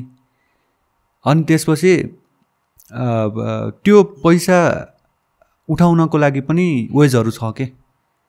उनीहरूले मैले पनि धेरैको चाहिँ पैसा उठाउन हेल्प गरेको छु। कसरी उठाउनु मिल्छ? पुलिसलाई कम्प्लेन गर्ने। ए it's simple as simple as that तर प्रब्लम कहाँ आउँछ भन्दाखेरि यहाँ पुलिसलाई कम्प्लेन गरेपछि पैसा रिटर्न आउँछ दाइ। पैसा रिटर्न आउँछ हन्ड्रेड पर्सेन्ट आउँछ। एक्सन चाहिँ लिँदैन त अनि उनीहरूको अगेन्स्ट उनीहरूको कन्ट्र्याक्टमै अब त्यस्तै अब मेन्सन के के मेन्सन गरे हुन्छ कि लाइक लिगल वेमा गरिरहेछ उसले पैसा कमाउनु सकेन किन भन्दाखेरि उसले कामै गर्न सकेन। त्यस्तो टाइपको रिजन हुन्छ कि उनीहरूको। यदि उसले राम्रोसँग काम गर्थ्यो भने उसले पैसा कमाउँथ्यो उसले आफैले गर्न सकेन त्यही भएर कमाउनु सकेन भन्ने खालको उनीहरूको त्यस्तो कुराहरू आउँछ। अनि त्यही भएर पुलिसले पनि त्यो कुराहरूमा किन एक्सन लिइराखेन लिनुपर्ने हो। यो त पोलिसी लेभलबाटै यसको अगेन्स्टमा त ल हुनुपर्ने हो नि त। हुनुपर्ने this is this is a pattern एउटा बिहेभियरको भनेपछि अन्त सिम्पल छ नि दाइ। कुनै पनि कम्पनीले हामीले जब प्रोभाइड गर्छौँ भनेर कम्पनी दर्ता गरेको छ उनीहरूले रेभेन्यू कमाइरहेको छ जोइनिङ फी भन्दै। तर उनीहरूको एकाउन्टमा क्रेडिट त भइरहेको छ। डेबिट चाहिँ कहाँ भइरहेको छ त? त्यो पनि त ख्याल गर्नुपर्ने हो नि। उनीहरूको इम्प्लोइलाई त ल स्यालेरी डेबिट भयो होला महिनाको। तर त्यो ब्याग कसले कमाएको छ त? अनि किन कमाइराखेन त? त्यो पनि त हेर्नु पऱ्यो थाहा भइहाल्छ नि। कतिजनाले पे आउट पाए थाउजन्डजनाले जोइन गरेका हुन् भने कतिजनाले मन्थमा कति पे आउट पायो भन्ने त हुन्छ। यदि लेजिट नै हो भने त थाउजन्डमध्ये थाउजन्डमा थाउजन्डजनाले जति जोइन गरे चार सयजना अथवा तिन सयजनाले त पे आउट पाउनु पर्ने हो नि त। एटलिस्ट उसले पर्मिस गरे अनुसार पन्ध्रदेखि बिस हजार। पाउँदैन एकजनाले पाउँदैन त्यहाँ। भनेपछि त तिनीहरूलाई त कारवाही गर्नु पऱ्यो हो। यदि एकजनाले पनि पाएको छैन भने त त्यहाँ त कमजोरी त कम्पनीको छ उसले नै केही तलमाथि गराएको छ भनेर बुझ्नु पर्ने तर मतलबै छैन नि त नेपालमा त। यस्तो कामहरू त कति भएको छ भएको छ। मैले देख्छु यस्तो स्क्यामहरू त मल्टिपल टाइपको स्क्याम भइरहेको छ। मसँग फेरि आउ आउँछन् भाइ बहिनीहरू। इन्स्टामा मेसेज गर्छन् दाई मेरो त यस्तो ठगियो यस्तो भयो यस्तो भयो भनेर भन्छन्। मल्टिपल मेसेज आउँछ मलाई इन्स्टाग्राममा अनि मैले भने त्यही कम्प्लेन गर। अनि एग्रिमेन्ट गरेको छु दाइ मैले साइन गरेको छु। त्यो एग्रिमेन्ट कामै लाग्दैन कि दाइ त्यो त्यो जस्ट उनीहरूलाई डराउनुको लागि। एग्रिमेन्ट साइन गरे उल्टे तँलाई केस लगाइदिन्छु भन्छन् उनीहरूले डराउँछन् फेरि। पाउँदैनन् फेरि। त्यो इन्डस्ट्रीमा डनहरू हुन्छन् फेरि। ए। लाइक धम्काउने के? तैँले केही गर्न सक्दैन। तँलाई मैले जेल हाल्छु भन्ने टाइपको झर्केर बोलेपछि त अनि एसएलसी दिएको स्टुडेन्टहरू त डराइहाल्छ नि। अनि त्यही हो मेन त्यसको सोल्युसन भनेको आफ्नो डुबेको पैसा उठाउँछ भने त पुलिसलाई रिपोर्ट गर्ने। अब त्यो सम्बन्धी नै अब पुलिसलाई केही एक्सनहरू लाइक गरे हुन्थ्यो पुलिसले यो कामहरू बन्द गरे हुन्थ्यो भने त अब त्यसलाई त्यही अनुसारको मल्टिपल मान्छेहरू मिलेर राम्रोसँग कुरा गरेर यस्तो यस्तो भइरहेको छ। यसलाई हेर्नु पऱ्यो रिभ्यू गर्नु पऱ्यो यिनीहरूको फाइनेन्सियल डकुमेन्टहरू के भइरहेछ भनेर। त्यस्तरी पनि जान सकिने हो तर अहिलेसम्म भइरहेको छैन। मैले त आफ्नो साइडबाट युट्युबमा एउटा भिडियो बनाइसकेँ टिकटकमा त मैले लाइक दुई महिनामा एउटा भिडियो बनाइरहेको हुन्छु। अनि अनि हरेक भिडियोमा कमेन्ट आइरहेको हुन्छ फेरि मेरो ठग्यो मेरो ठग्यो। ठगिरहेको छन् मान्छेहरू। कतिलाई त मैले बचाएँ आफ्नो साइडबाट तर अझै पनि धेरै ठगिरहेको छन्। त्यही भएर अझै मैले जस्तै अरू पनि कन्टेन्ट क्रिएटरहरूले यसलाई अलिकति अवेर गराइदिने हो भने धेरै हदसम्म कम कम चाहिँ हुन्थ्यो। इन टर्म्स अफ इन्डिया चाहिँ कसरी हुँदो रहेछ? तिम्रो केसमा के भएको थियो? इन्डियामा त त्यही त भनेर यो मेरो केसमा पनि म अनलाइन जब खोजिरहेको थिएँ इन्जिनियरिङ गरिरहेको थिएँ तर आफ्नो पकेट मनी सकेसम्म। आफैले म्यानेज गर्न पाए बेटर हुन्थ्यो। घरबाट मगाउनु भन्दा भन्ने मेन्टालिटी थियो अनि सर्च गर्दै जाँदा इन्डियामा अनलाइन जब भनेर यदि तपाईँले गुगलमा अथवा ओएलएक्समा सर्च गर्नुहुन्छ भने हजारौँ लिस्टिङ आउँछ त्यहाँ। Twenty five to thirty thousand per month online typing job सुन्दा यति आनन्द आउँछ दाइ। अनि त्यति बेला त मलाई थाहा थिएन। पढेन थाहा भयो मैले होइन। त्यति बेला थाहा थिएन। अनि जोइन गरेँ एउटा ओएलएक्समा सर्च गरेँ यो हाम्रो लिस्टिङ लोकल लिस्टिङ वेबसाइट अनि एउटा कम्पनी थियो अनि उनीहरूले चाहिँ यो टाइपिङ जब भन्ने प्रोभाइड गर्दो रहेछ। अनलाइन टाइपिङ जब तपाईँले हामीले त तपाईँहरूलाई जेपिजी फर्मेटमा पेज दिन्छौँ। त्यसलाई टाइप गरेर माइक्रोसफ्ट ओडमा अथवा नोटप्याडमा टाइप गर्नु पऱ्यो भनेर त्यो त्यो हिसाबले टास्क दिन्छन् उनीहरूले। अनि पर पेजको चाहिँ तपाईँको सिक्सटी रुपिसदेखि सेभेन्टी रुपिस आइएनआर। मैले गरेकोमा चाहिँ। अब त्यति बेला त म सानै थिएँ। त्यति हाम्रो त्यति बेलामा त चाहिँ अहिलेको जस्तो अवेरनेस पनि केही पनि थिएन नि त. अहिले बरु अलिकति सोसियल मिडियाहरूतिर अनि ग्रो भइरहेछ धेरैलाई धेरै कुराहरूको बारेमा थाहा छ। त्यति बेला केही पनि थाहा थिएन। अनि म पनि भर्खरको थिएँ भर्खर केही थाहा थिएन टुवेल्भ पास हुँदासम्म बाहिरी कुराहरू। अनि उहाँ जाँदा पनि केही थाहा थिएन अनि त्यसपछि जोइन गरेँ मैले। होला त नि भनेर।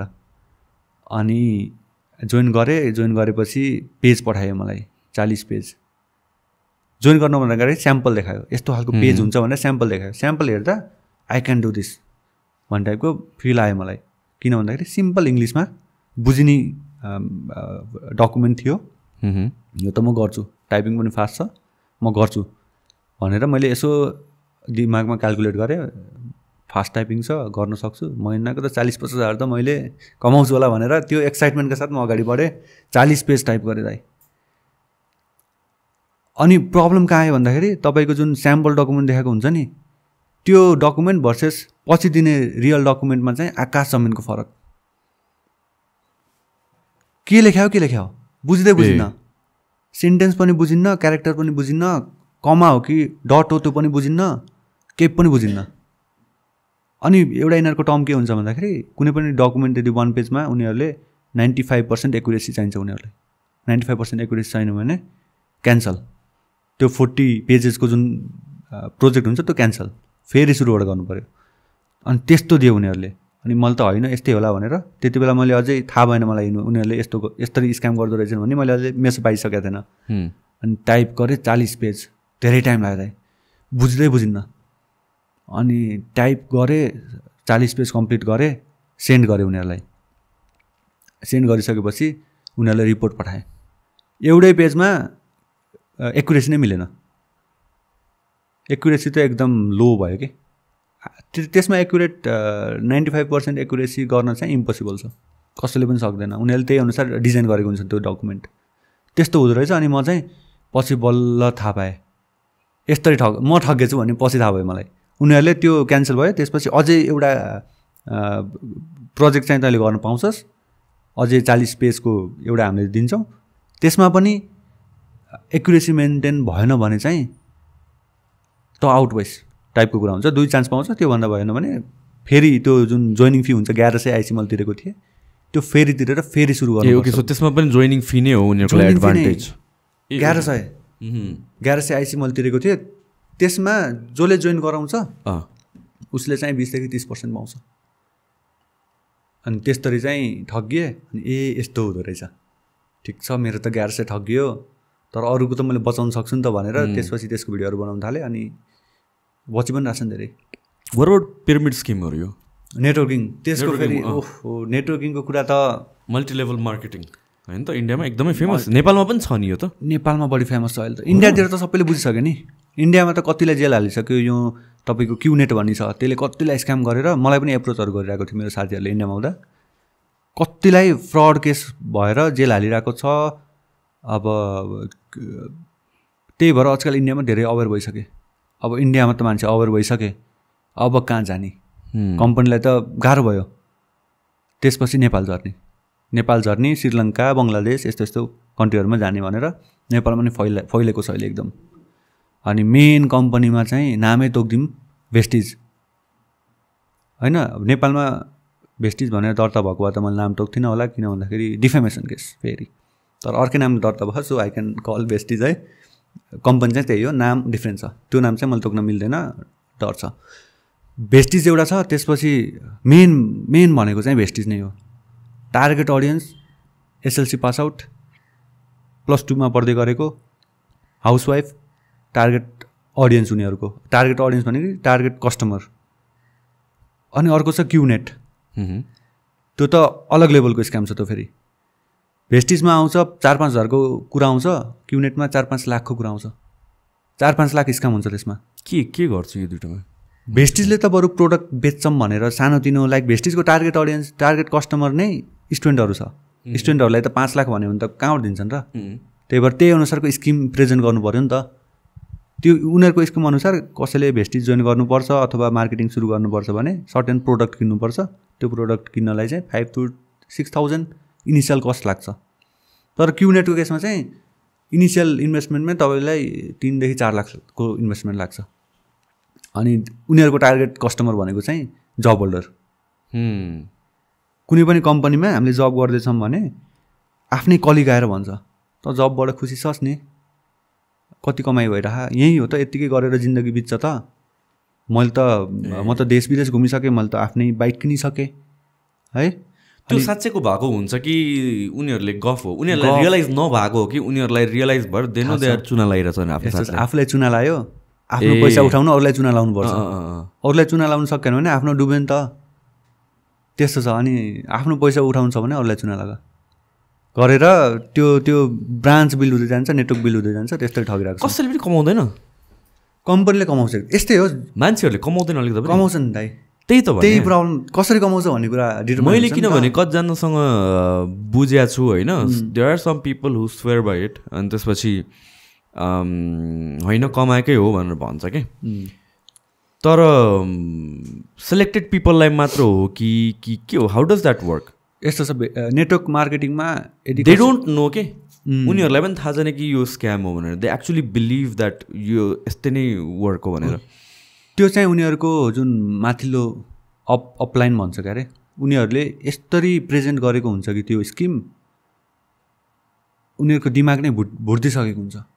दिमाग भुटेको हुन्छ। तर पैसा कमाउँछ त फेरि कमाउनुले त। कसरी कमाउँछ भन्नु न फेरि। कसरी कमाउँछ? चुना लगाएर अरूलाई मैले तपाईँलाई जोइन गराएँ भने त्यसको सर्टेन पर्सेन्टेज मलाई आउँछ। जोइनिङ फीको सर्टेन पर्सेन्टेज बिस पच्चिस मलाई आउँछ। त्यसपछि तपाईँले जतिलाई चुना लगाउँदै जानुहुन्छ नि त्यसको पनि सर्टेन पर्सेन्टेज मलाई आउँछ। प्रडक्ट बेचेर चाहिँ अनि त्यसको कमिसनहरू आउँदैन? यस्तो छ प्रोडक्ट बेचेर एकदम मिनिमल कमिसन आउँछ। भेस्टिजकै कुरा गरौँ। प्रोडक्ट डाइरेक्ट सेलिङ कम्पनी भनेर नेपालमा दर्ता भएको छ। अनि मलाई मैले सुनेअनुसार नेपाल सरकारसँग जुन जुन डाइ डाइरेक्ट सेलिङ भनेको त पहिलेदेखि एकदम नराम्रो इमेज भएको बिजनेस हो। यो नेटवर्किङ बिजनेस भन्ने। अनि त्यो त सबैलाई थाहा भएकै कुरा हो। अनि नेपालमा भेस्टिज दर्ता हुनुभन्दा अगाडि यो उनीहरूको भित्री कुराहरूमा चाहिँ नेपाल सरकारले के भनेको थियो भन्दाखेरि फिफ्टी पर्सेन्ट प्रडक्ट चाहिँ नेपाली प्रडक्ट हुनु पऱ्यो उम्, वेस्टिजको जुन बेचिरहेको छन् त्यस्तो भयो भने बल्ल न त्यो रेभेन्यू देशमै जान्छ नि त देशको प्रडक्ट हो। अहिले त इन्डियाबाट आइरहेछ प्रडक्ट। त्यो बेचेको जे गरेको सबै पैसा त बाहिर गइरहेछ क्या। भेस्टिजबाट नेपाललाई अलिकति ट्याक्स दिए पनि ओभरअल हेर्ने भने त त्यो सबै रेभेन्यू त इन्डियामा गइरहेछ त। अनि त्यो त इलिगल त ठाडै इलिगल हुनु पऱ्यो नि। अनि त्यो जुन कन्ट्र्याक्ट गर्ने भनेर भन्थ्यो एग्रिमेन्ट त्यो भएन? द गभर्मेन्ट फिफ्टी पर्सेन्ट भयो भयो। तर खै त रिभ्यू गरे खै त भेस्टिजले के बेचिरहेको त? प्रोडक्टमा फिफ्टी पर्सेन्ट नेपाली प्रोडक्ट छ कि छैन त? रिभ्यू गर्ने बडी नै छैन। त्यही त प्रब्लम छ नि नेपालमा। राष्ट्र ब्याङ्कले सूचना निकालेको निकालेछ यस्तो यस्तो छ यस्तो गर्न हुन्न भनेर। त्यसलाई मोनिटर गर्ने रिभ्यू गर्ने टिम नै बनाएको छैन। टिम बनाएपछि त्यसलाई मोनिटर गरेपछि बल्ल न थाहा हुन्छ के चलिरहेको मार्केटमा। भेस्टिजमा एनआरबीले उस गरोस् त अलिकति रिभ्यू गरोस् त यहाँ कति करोडौँको यहाँ फ्रडहरू निस्किन्छ यहाँ। गर्दैन। अब किन गर्दैन भन्ने कुरा अब म्यान पावर नभएर हो कि अब त्यसमा इन्ट्रेस्ट नभएर हो कि थाहा भए भए पनि नजरअन्दाज गरे हो कि नेपालको पैसा त गइरहेछ इन्डिया। लिगल वेमा गफ फेरि। इलिगल काम गरेर लिगल वेमा गफ भन्ने कि के भन्ने? अब नेपालमा ट्याक्स तिरेपछि नेपाल सरकार खुसी। तर त्यो ओभरअल पैसा इन्डियामा गएको बाँकी पैसा इन्डिया गएको त्यो चाहिँ देख्दैन कि के हुन्छ असम्म लाग्छ मलाई। त्यो भेस्टिजको बारेमा चाहिँ धेरैले बुझ्न जरुरी छ। यो के हुँदो रहेछ भन्दाखेरि भेस्टिजमा कसैले जोइन गराइसकेपछि उसलाई यस्तो ट्रिट गर्छ कि दाइ उसलाई अन्टरप्रेनर जस्तो फिल गराइन्छ एक दुई दिनमै बिजनेसम्यान जस्तो। होइन। दुनियाँ भनेको त नेटवर्किङ नै हैछ। नेटवर्किङ बाहिर त कुनै दुनियाँ नै छैन। हामीले यहीँ गर्नुपर्छ भनेर वर्षौँसम्म मिहिनेत गर्छन् हेर्नु। अनि लास्टमा रिटर्न के त? केही पनि छैन कि? फेरि हजारौँ कमाउनेहरू पनि छ त। कमाउने छन् दाइ। कमाउने छन् कस्तो छन् भन्दाखेरि अलिकति माथिल्लो पोस्टमा भएकोले कमाउँछन्। नेपालको पनि नेपालमा पनि त एउटा हेड छ नि त। नाम लिन मिल्दैन अहिले। नेपालमा हेड छ दुई तिनजना छन्। उनीहरूले त करोडौँ कमान् नि। तर तिनजनाले कमाएर भएन नि। यहाँ त तिन हजार तिन लाखजना त खै त कमाइ छैन। त्यस्तै नेटवर्किङ भनेको त्यही नै हो। माथिपट्टिले कमाउँछ अलिअलि।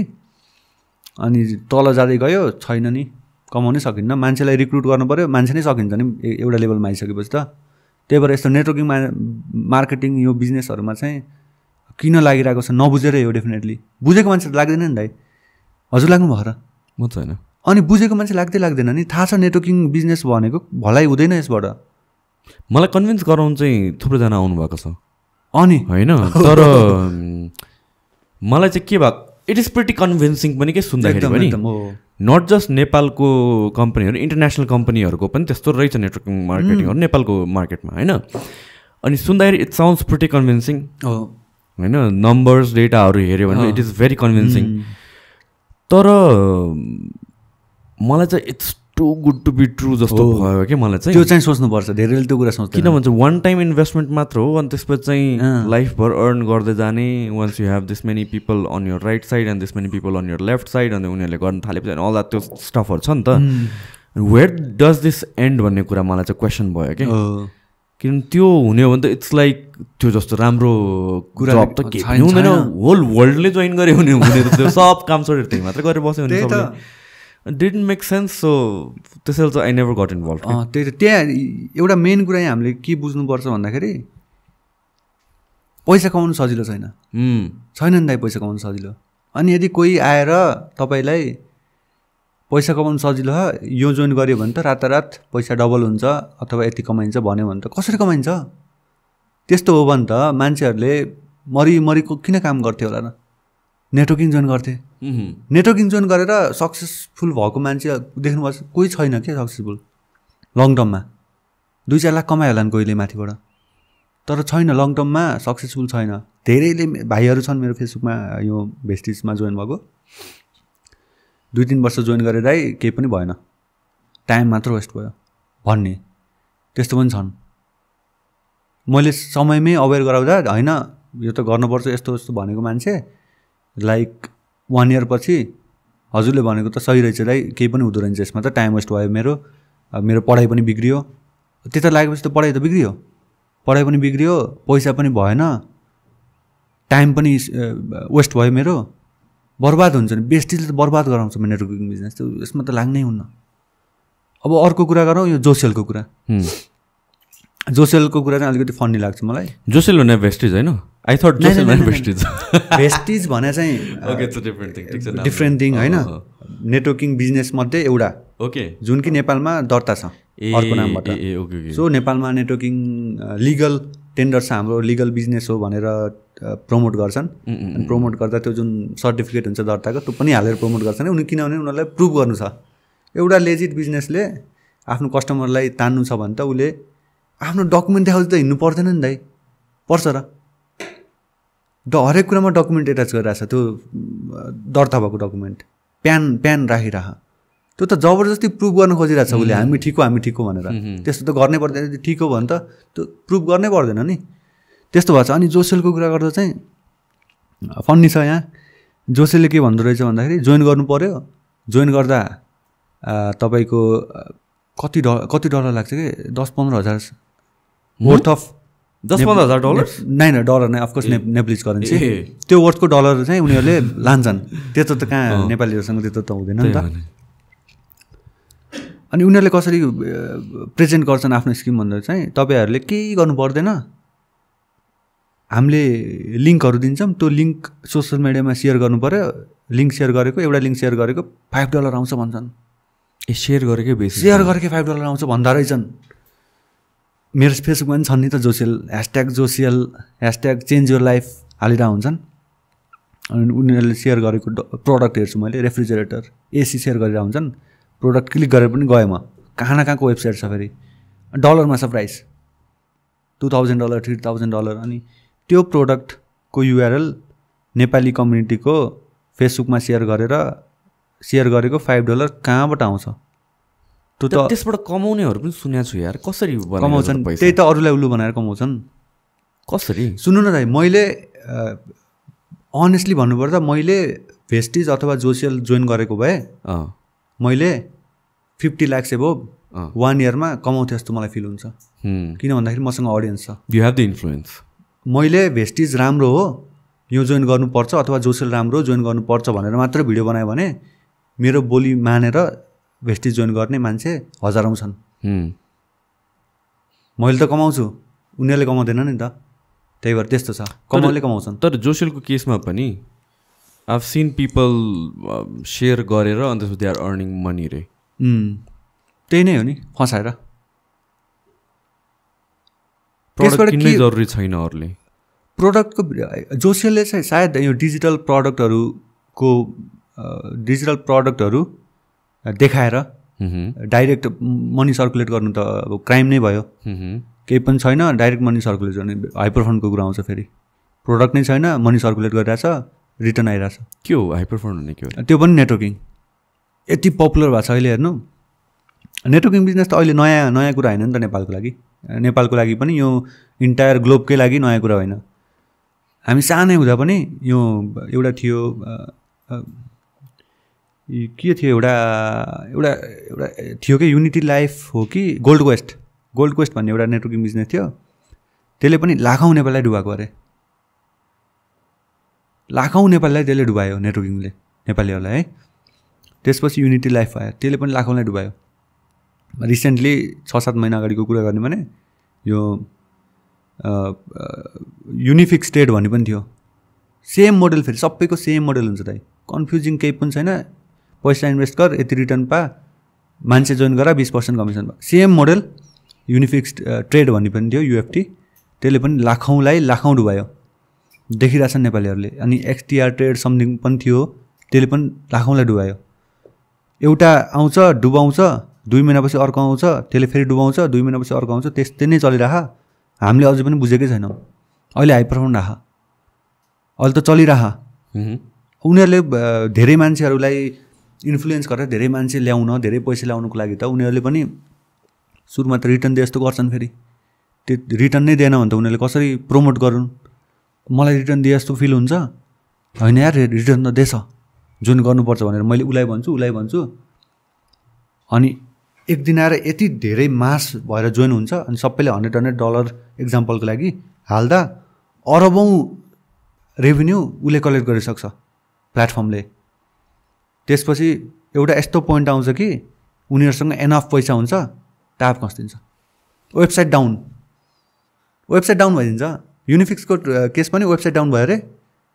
के गर्नु त त्यसपछि? अनि कसले गरेको त्यो चाहिँ थाहा हुँदैन रेजिस्टर्ड हुँदैन हुँदैन हुँदैन रेजिस्टर्ड हुँदैन कतै कतै पनि रेजिस्टर्ड हुँदैन। अनि यो हाइपर फन्डलाई त तपाईँको कताको यो गभर्मेन्ट बडीबाट पनि यो यस्तो यो इलिगल टाइपको हो यसमा जे पनि हुनसक्छ यसमा चाहिँ नलागौँ भनेर उसहरू निकालिरहेको हुन्छ।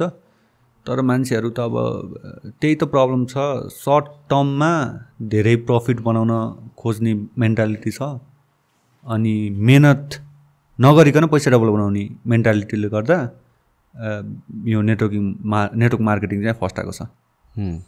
त्यो यो नेभर एन्डिङ कुरा यो एन्ड हुन्छ जस्तो लाग्दैन। जबसम्म नेपाल त सानो छ नि दाइ।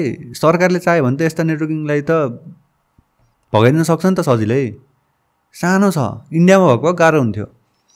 छैन मतलबै छैन नि त सरकारलाई पनि। कति पैसा बाहिर गइरहेछ हाइपर फन्डमा र यो अहिले इन्स भिडियो पुज पनि भनिन्छ त्यसमा अरबौँ गएको छ बाहिर अरबौँ गएको छ। करोडको कुरा हुन अरबौँ कुरा आउँछ बाहिर गइरहेछ अनि त्यही भइ भइसकेपछि अहिले बल्ल अलिअलि एनआरबीले पनि अलिअलि फोकस गरेको निकालिरहेको छ अहिले। अँ अलिअलि गरिरहेको छ तर गलत डिरेक्सनमा गइरहेको छ फेरि। फेरि क्रिप्टो करेन्सीतिर गयो मेन फोकस यहाँ हाइपर फन्ड जस्तो नेटवर्किङ बिजनेस भेस्टिजमा फोकस गऱ्यो भने धेरै रेभेन्यू चाहिँ बचाउन सकिन्थ्यो। तर फोकस गरिरहेको छ क्रिप्टो करेन्सीमा क्रिप्टो करेन्सीमा त कसले बुझेर क्रिप्टो करेन्सी ट्रेड गर्नलाई? छैन नि त धेरैले बुझेको। अनि क्रिप्टो करेन्सीमा त रिक्स छ फेरि। त्यो त सबैलाई थाहा छ भोलाटाइल छ मार्केट। अनि सबै त डराउँछन् क्रिप्टो करेन्सीमा इन्भेस्ट गर्न। त्यही भएर न यो हाइपरफोन जस्तो फटा फस्टाएको छ। हाम्रो हामीमा इन्भेस्ट गर। रिक्स छैन। हामीले ten x fifteen x return दिन्छौँ। A in year yearly yearly भन्ने कि मन्थली खै तर मन्थली टेन फिफ्टिन एक्स मान्छेले नि पत्याउँछ। ठ्याक्कै एक्ज्याक्ट नम्बर त मलाई थाहा छैन तर एकदम के एकदम खत्रै रिटर्न चाहिँ दिन्छ उनीहरूले। नेपालको नेपालमा जुन इन्भेस्टमेन्ट गर्ने जुन जति अपर्च्युनिटीहरू छ त्योभन्दा त एकदम बेटर अपर्च्युनिटीहरू सोकेस गर्छ। अनि विदाउट रिस्क भनेपछि त मान्छे त्यहीँ जाने भयो। किन क्रिप्टो करेन्सीमा जान्छ त? त्यो फोकस त सरकारको त्यहाँ हुनुपर्ने हो। जब कि क्रिप्टो करेन्सीमा गएर दुई लाख कारोबार गर्नेलाई अनि छोपिरहेको छ क्रिप्टो करेन्सीमा। हाइपर फन्डमा एउटै परिवारबाट करोडौँ इन्भेस्ट भइरहेको छ। त्यतातिर बढी फोकस गरेको भए त त्यो रेभेन्यूहरू त बचाउनु सकिन्थ्यो। छैन। मैले अवेरनेस भिडियोहरू त बनाइरहेको हुन्छु। रिसेन्टली पनि बनाएको थिएँ तर त्यो भिडियोमै सीमित हुन्छ। ओके एउटा ब्रेक लिउँ न त है त। ब्रेक लिउँ टुवेल्भ ब्रेक अनि त्यसपछि क्रिप्टो ब्लक चेनहरूको कुरा गरेर आएको थियो यार त्यहाँतिर हल्का कुरा गरौँ। नेपालमा अब राष्ट्र ब्याङ्कले चाहिँ इलिगल भनेर अनाउन्स गरेको छ होइन? हजुर। मैले चाहिँ डिफ्रेन्ट एस्पेक्ट्स हेर्छु कि यसमा चाहिँ। एउटा चाहिँ of course people would want to invest from citizens point of view या भन्छ लङ रन लङ टर्मको पोइन्ट अफ भ्यूले हेर्ने हो भने चाहिँ इन्भेस्ट गर्नु मेबी पोजिटिभ थिङ होला। If it's a legit thing that they are investing हाम्रो गभर्मेन्टको कन्सर्न मेबी मैले नबुझेँ होला तर वाट आई अज्युम इज पैसा लुज गर्ने एस्पेक्ट नबुझेकोले त्यो त त्यो पनि हुनसक्छ तर आई थिङ्क अहिलेको केसमा चाहिँ इट्स द लिक्विडिटी क्राइसिसको कुरा छ नि त नेपालमा। हजुर हजुर। डलर्स नै रिजर्भमा कम छ। वर्स इम्पोर्ट बेसी छ। एकदम। होइन एक्सपोर्ट कम छ। टुरिज्म अलमोस्ट जिरो छ। एकदमै कम भयो त्यो पनि। अनि त्यसपछि थिङ्स लाइक रेमिटान्सेस पनि ड्रप भएको छ। ड्रप भएको छ। होइन? त्यो कारणले गर्दा डलर रिजर्भ कम भएकोले गभर्मेन्ट आत्तिएर त्यो नोटिस निकाले जस्तो मलाई लाग्छ। होइन whether it's right or wrong that's a different debatable topic होइन? तर पिपलको आफ्नो रिजन्स छ why crypto should be legal भनेर गभर्मेन्टको आफ्नो रिजन्स छ why it should not be legal भनेर so it's a conflict of interest यस्तो छ त्यसमा पनि के छ भन्दाखेरि सरकारले एनआरबीले क्रिप्टो करेन्सीको नेगेटिभ एस्पेक्टतिर बढी फोकस गरेको छ। अनि त्यसको पोजिटिभ एस्पेक्टहरू पनि त छ। यदि कोही मान्छेसँग क्रिप्टो रिलेटेड नलेज एकदम बढी छ भने उसले त्यसमा इन्भेस्ट गरेर फिफ्टी एक्स हन्ड्रेड एक्स पनि त गराउन सक्छ गराइरहेका छन् विदेशतिर। ठिक छ सयजनामा दुईजनाले कमाउलान्। होइन? नाइन्टी एटजनाले गुमाउलान् अरे। किन भन्दा धेरैजनासँग त नलेज छैन। त्यो लैलैमा लै लाग्यो लैमा लाग्ने बानी छ हाम्रो फेरि। त्यो पनि कुराहरू छ। त्यही भएर तर दुईजना त्यो दुईजनाहरू त वञ्चित भयो नि त। त्यो दुईजनाहरू त वञ्चित भए।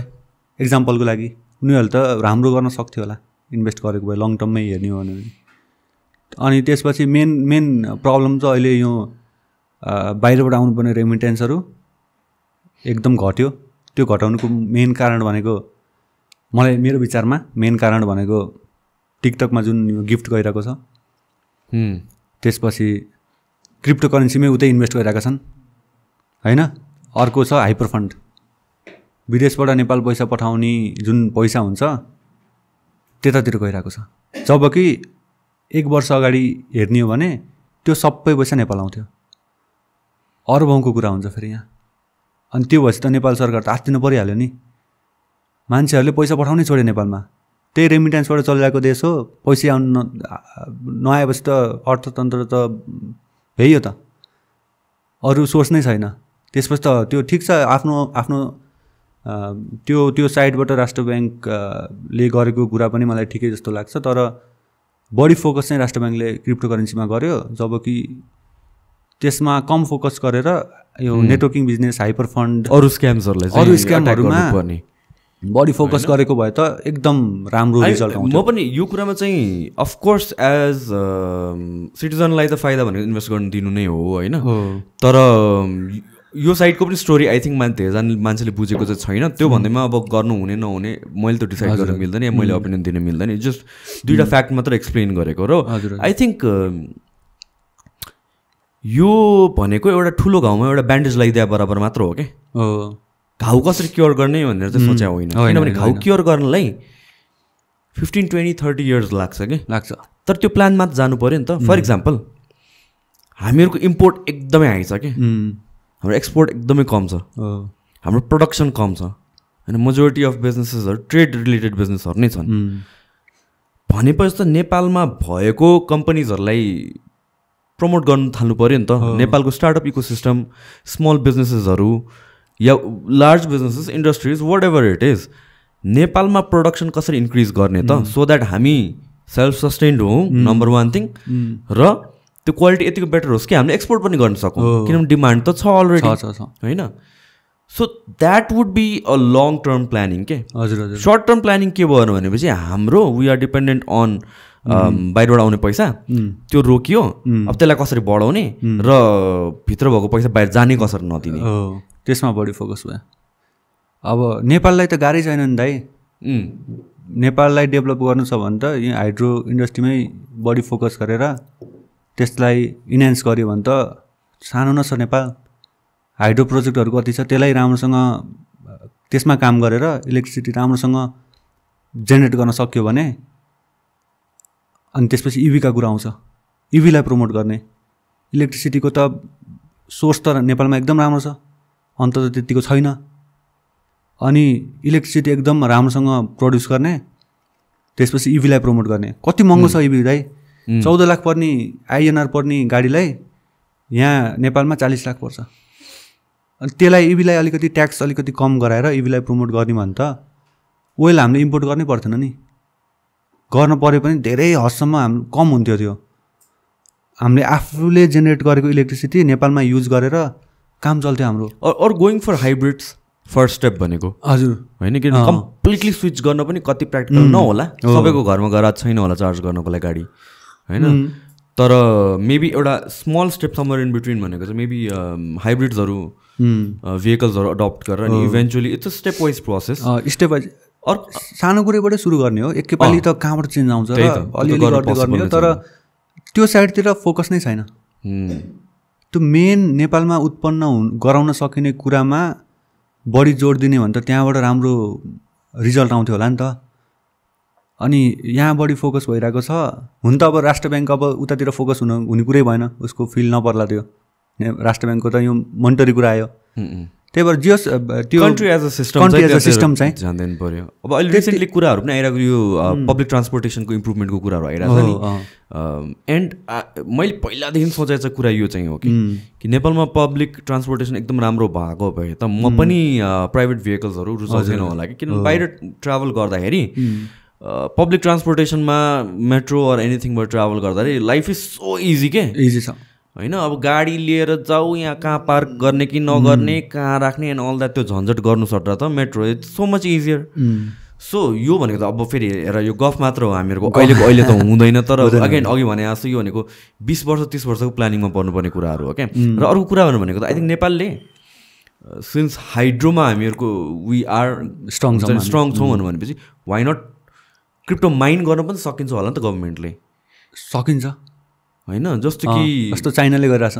चाइनाले गरिरहेछ अर्को country Argentina I don't know कुन कन्ट्री लिगल टेन्डर नै बनाइदिएको मैले एल साल्भेटर होइन भल्क्यानोबाट उनीहरूले माइन गरेर आएको छ राइट सो वाइ नट नेपालमा चाहिँ हाइड्रो युज गरेर maybe that would be the first step सिभिलियन्सलाई legalize गराउनुभन्दा अगाडि गभर्मेन्टले ट्राई गर टेस्ट गर if see if it works त्यो भनेको त प्यासिभ इन्कम जस्तो हुन्छ होला मेबी हुन्छ हुन्छ। लाइक अनलिमिटेड छ नि त हाइड्रोलाई राम्रोसँग काम गरेर त्यसमा फोकस गऱ्यो भने त नेपाल नेपाललाई पुगेर पनि कतिवटा देश ह्यान्डल गर्न सक्ने क्षमता त छ नि त। कति धेरै हाइड्रो प्रोजेक्ट प्रोजेक्टहरू छ। आइपिओ नै हेर्नु न हाइड्रोकै आइपिओ आइरहेको हुन्छ। कति धेरै प्रोजेक्टहरू छ त्यसमा राम्रोसँग त्यसलाई सपोर्टिभ भएर सरकार पनि हाइड्रोमै फोकस गऱ्यो भने त नेपाल त्यसै विकास हुन्छ जस्तो लाग्छ पर्सनल ओपिनियन। अनि यो इभीलाई प्रमोट गर्ने त्यस्तै स्टेप बाई इभी इभीलाई त सुरुमा त्यो ट्याक्सै अलिकति सहज गराइदियो भने चालिस लाख चौध लाख पर्ने आइएनआर पर्ने गाडीलाई यहाँ कन्भर्ट गर्दा कति पर्छ? एक्काइस लाख पर्छ। ट्याक्स ट्याक्स गरेर तिसै लाख भए पनि दस लाख के को त? Two hundred three hundred percent tax त लाग्छ। एकदम महँगो भयो क्या कसरी लिने इभी लास्टमा हामी घुम्यो फेरि पेट्रोल गाडी अथवा डिजलमै जान्छौँ। किन भन्दा त्यो त इभीभन्दा दस लाख सस्तोमा पाइन्छ। अनि फेरि इम्पोर्ट गरेको ओइल नै युज गर्नु पऱ्यो हामीले पेट्रोल डिजल। इभीमा ट्याक्सेस कम गरेको थियो होइन र? केही हदसम्म कम गरे पनि कम गरेको देखेन खै। महँगै छ लास्टै महँगो छ। त्यो गऱ्यो भने सानो कुराबाट यति यति कम गरिदियो पनि यहाँ त धेरै राहत मिल्छ नि त। मान्छेहरू अब अब इभी अहिले अलिकति फस्टाएको छ पहिलाको भन्दा त। अब मेन फर्स्ट आउनुमा मेन प्रब्लम यहाँ ट्याक्सकै छ? महँगो छ इभी पेट्रोल गाडीभन्दा त्यसपछि चार्जिङ स्टेसनहरूको प्रब्लम आउँछ। त्यसमा पनि ठाउँ ठाउँमा यता पूर्वतिर त चार्जिङ स्टेसनहरू कतिपय ठाउँमा राखेको छ। तर सरकारले पनि त्यो साइडमा अलिकति ठाउँ ठाउँमा चार्जिङ स्टेसन राख्यो। त्यसपछि ट्याक्स घटाइदियो भने त इम्पोर्ट गर्नै पर्थेन हामीलाई। नेपालकै इनर्जी युज गरेर मजासँग चल्न सक्थ्यो अझै बेच्न सक्थ्यो क्रिप्टोका कुराहरू पनि आए। डेभलप गर्न त नेपाल सजिलो हो। यदि लाइक पोस्टमा बसेको जुन हाम्रो हुनुहुन्छ नेतृत्व गर्ने मान्छेहरू हुनुहुन्छ उहाँले चाहने भने नेपाल डेभलप हुन्छ।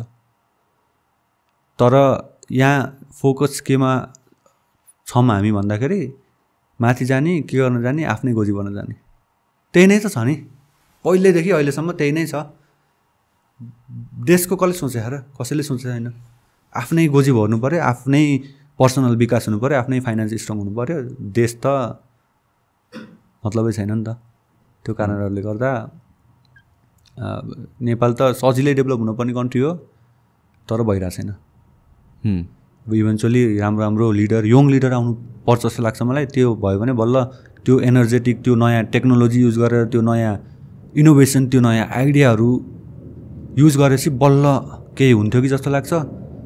तर चान्स नै पाएको छैनन्। अब जब चान्स पाउँछन् तब गर्छन् होला राम्रो। हेर्दै जाउँ। इन टर्म्स अफ हामीले क्रिप्टोको कुरा गर्दाखेरि we just talk about the टोकन्सहरू अनि त्यो करेन्सीको बारेमा कुरा गर्छ। तर त्यसको पछाडिको टेक्नोलोजी हो नि त मेन त। हजुर हजुर। ब्लक चेन टेक्नोलोजी त्यसको बारेमा अलिकति एक्सप्लेन गरिदिनु पऱ्यो अँ ब्लक चेन भनेको चाहिँ अब हाम्रो सिम्पल भाषामा बुझ्दा चाहिँ ब्लक चेन भनेको चाहिँ एउटा डिस्ट्रिब्युटेड डेटाबेस एउटा सेन्ट्रल डेटाबेस भइहाल्यो एउटा डिस्ट्रिब्युटेड हुन्छ। सेन्ट्रल डेटाबेसको कुरामा हाम्रो ब्याङ्कको इक्जाम्पल लिने भने हामीले गर्ने हरेक ट्रान्जेक्सन ब्याङ्कको ब्याङ्कले रेकर्ड राखिरहेको हुन्छ हरेक ट्रान्जेक्सनको एभ्री ट्रान्जेक्सनको रेकर्ड ब्याङ्कसँग हुन्छ। सेन्ट्रल अथोरिटी भयो। तर ब्लक ब्लक चेनको कुरामा एउटा सेन्ट्रल बडी हुँदैन। इट्स लाइक डिसेन्ट्रलाइज त्यो रेकर्ड त्यो डेटाबेस त्यो लेजर मल्टिपल त्यो नेटवर्कमा मल्टिपल इन्टिटीहरूसँग हुन्छ. सो त्यो रेकर्ड चेन्ज गर्न मिलेन. सेन्ट्रल बडी भयो भने के हुन्छ भन्दाखेरि चाह्यो भने त्यहाँबाट तलमाथि हुनसक्छ. रेकर्ड फेरि चेन्ज हुनसक्छ. तर डिस्ट्रिब्युटेड केसमा एकजनाले चाहेर त्यहाँ चेन्ज हुँदैन. त्यो नेटवर्कमा भएको सबै त्यो इम्पोसिबल नै छ भन्दा हुन्छ. कुनै पनि ब्लक चेन टेक्नोलोजी अथवा ब्लक चेनमा भएको रेकर्ड यो सेक्युर नै ब्लक चेन एकदम सेक्युर टेक्निक मानेर फेमस भएको छ। डिसेन्ट्रलाइज एउटा सेक्युर्ड टेक्नोलोजी भनेर फेमस भएको छ नि त।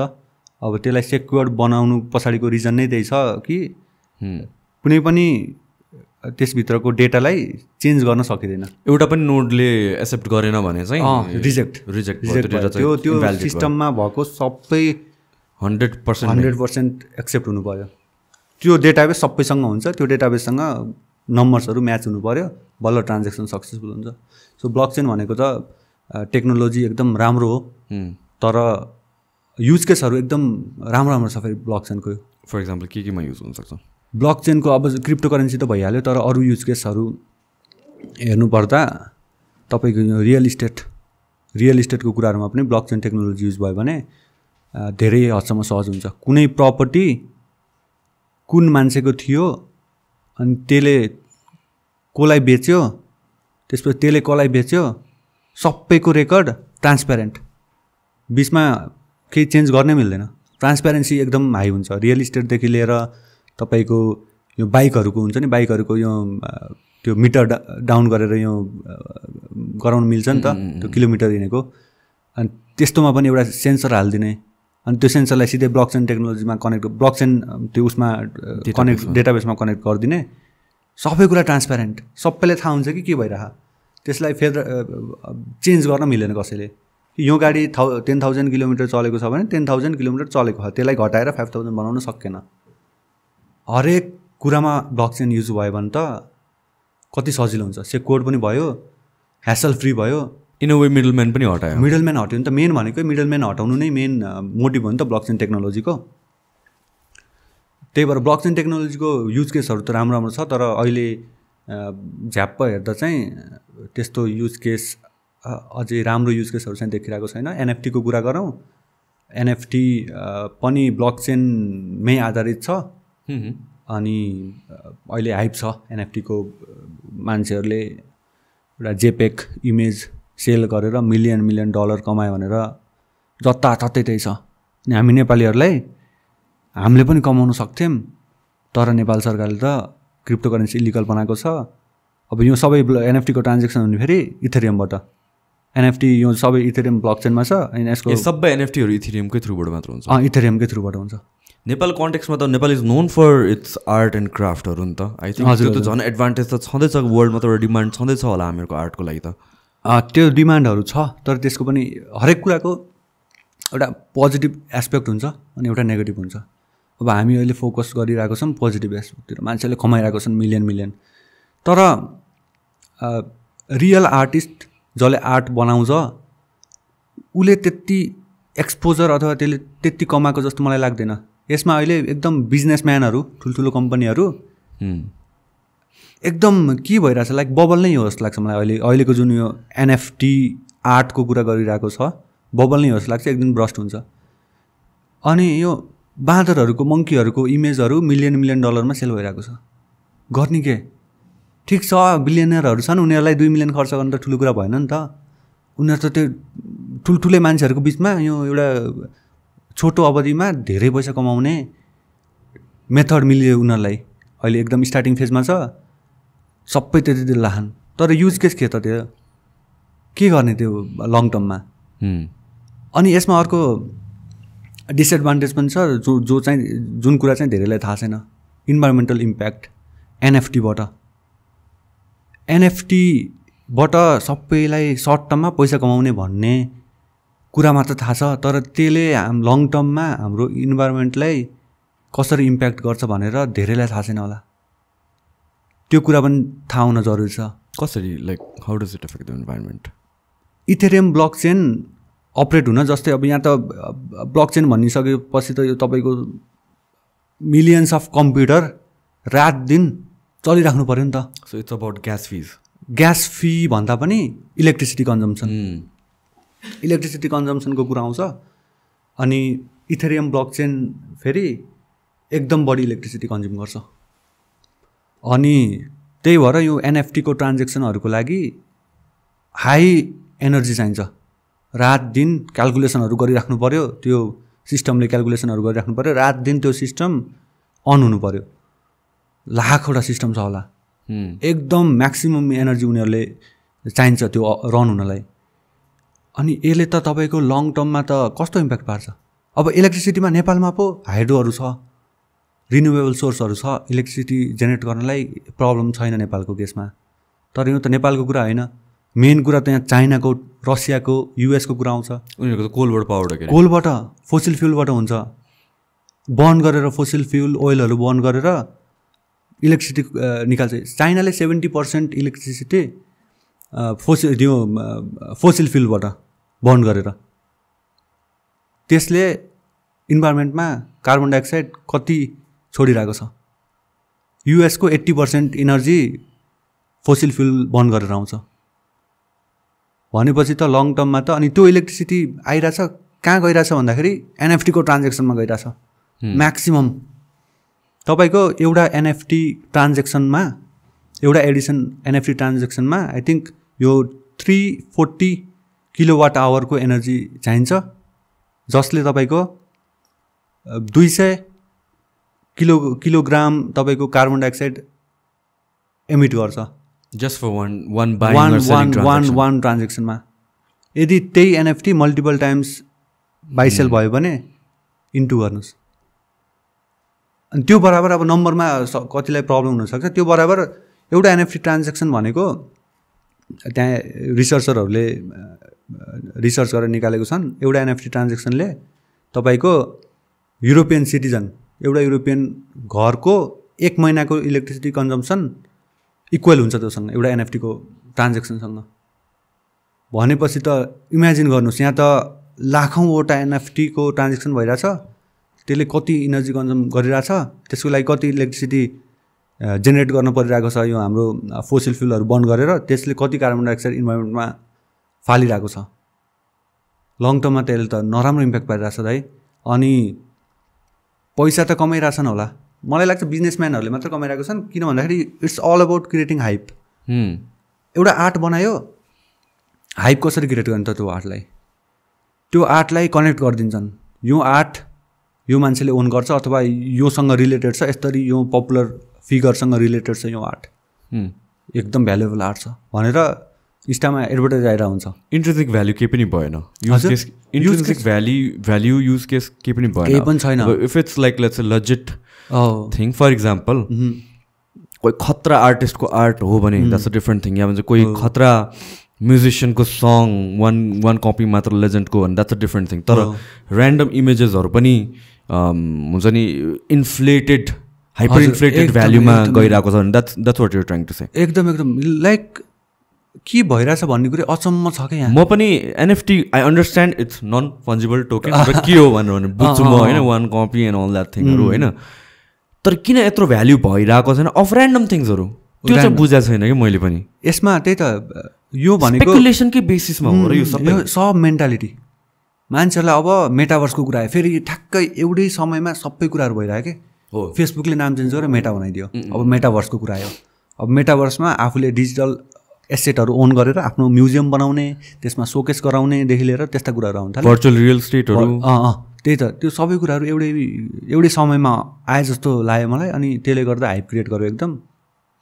तर एनएफटी आर्ट एनएफटी भनेको त एउटा यो कुनै पनि डिजिटल अब्जेक्टलाई को ओनरसिपलाई अथेन्टिकेट गर्ने जुन टोकन हो त्यो त एउटा राम्रो कुरा हो। त्यसको युज केसहरू पनि आफ्नो ठाउँमा छ होला। मेरो दिमागमा भर्खर आएन। तर अहिले जुन यो एनएफटी आर्ट भनेर जुन यो यो मान्छेहरू लागिरहेको छन् त्यो चाहिँ केही समयको लागि एउटा बबल जस्तो लाग्छ मलाई। लङ टर्ममा यसले एउटा इन्भाइरोमेन्टललाई इन्भाइरोमेन्टलाई नै इम्प्याक्ट पाइरहेको छ। त्यसमाथि युज केस के त? आर्ट ओन गरेर यस एउटा अर्को कुरा यहाँ प्रब्लम के छ भन्दाखेरि एनएफटीको यो दुनियाँमा एनएफटीको जुन यो अहिले चलिरहेको छ यो हाइप त्यसमा एउटा कुरा धेरैलाई थाहा नहुनसक्छ एनएफटी यस्तो छ क्या के भन्छ भन्दाखेरि you do not NFT does not belong to you rather you belong to the NFT कुरा त एउटै एउटै जस्तो लाग्छ नि त। तपाईँले कुनै एनएफटी किन्नुभयो भने त्यो एनएफटी तपाईँको नाममा हुँदैन। तपाईँको नाम त्यो एनएफटीमा हुन्छ। ओके एउटै एउटै जस्तो सुनिन्छ। NFT is the main entity भयो यहाँ चाहिँ। अँ एनएफटी मेन इन्टिटी भयो। त्यहाँ प्रब्लम कहाँबाट आउँछ भन्दाखेरि त्यो कुरामा मानौ ट्वेन्टी थाउजन्ड अथवा फिफ्टी थाउजन्ड एनएफटीको उस छ। एउटा प्याकेज छ। फिफ्टी थाउजन्ड एउटा एनएफटी छ त्यो त्यो प्याकेजमा। त्यो त्यो सिस्टममा भन्ने कि त्यो त्यो इन्भाइरोमेन्टमा भन्ने। अनि कुनै पनि मान्छेको जस्तै मैले दुईवटा एनएफटी ओन गर्छु। अब ब्लक चेनमा छ त्यो। अब मैले कुन एनएफटी ओन गर्छु भनेर त्यो सिस्टमले थाहा पाउनको लागि सिस्टमले फिफ्टी थाउजन्डवटा एनएफटीको थ्रु स्क्यान गर्नुपर्छ। बुझ्नुभयो? हरेक पालि उसले दुईवटा एनएफटी मैले ओन गर्छु त्यसको लागि हजुर। फाइन्ड आउट गर्नको लागि। त्यस त्यो त्यो ओनरसिप फाइन्ड आउट गर्नको लागि उसले फिफ्टी थाउजन्डवटा स्क्यान गर्नुपर्छ। भनेपछि फिफ्टी थाउजन्डको ठाउँमा बिस्तारै त मिलियनको कुरा आउँछ। बिलियनको कुरा आउँछ। अनि एउटा मान्छेले कुन एनएफटी ओन गर्छ भनेर थाहा पाउनुको लागि बिलियनवटा एनएफटी स्क्यान गर्नु भनेको त त्यो त नन स्केलेबल डिजाइन भयो नि। इथेरियम ब्लक चाहिँ त। स्केलेबल नै छैन। अहिले पो बिस बिस हजारवटा टोटल एनएफटी होला स्क्यान गरिरहेछ। बिलियनवटा हो हुन्छ पछि। यो कन्सर्न रेज भएको छैन त? रेस भइरहेको छ तर मिडियामा छैन। मिडियामा त सबैतिर एनएफटीबाट कमायो यति कमायो उति कमायो। पोजिटिभ कुराहरू मात्र छ। नेगेटिभ इम्प्याक्टहरू नेगेटिभ कुराहरू चाहिँ आइरहेको छैन धेरै। धेरैलाई थाहा छैन। जुन कि थाहा हुन जरुरी छ। एनएफटीलाई इथिरियमबाट इथिरियममा नगरेर अरू मोर एनर्जी एफिसियन्ट ब्लक चेनमा गर्न सकिन्थेन होला त? सकिन्छ। यस्तो छ। इथेरियमको कुरामा पनि इथेरियम टु पोइन्ट हो नेक्स्ट भर्जन आउने भन्ने कुरा छ। त्यसले चाहिँ लो हुन्छ भन्ने कुरा यो इनर्जी कन्जम्सन पनि नाइन्टी नाइन पर्सेन्टले घट्छ भन्ने कुरा छ। तर कहिले आउँछ भन्ने कुरा हो नि त।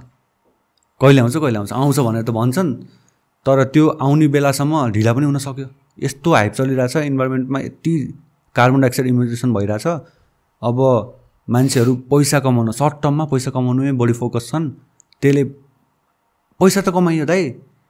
मिलियन मिलियन डलर कमाइयो। के गर्ने त पैसा कमाएर?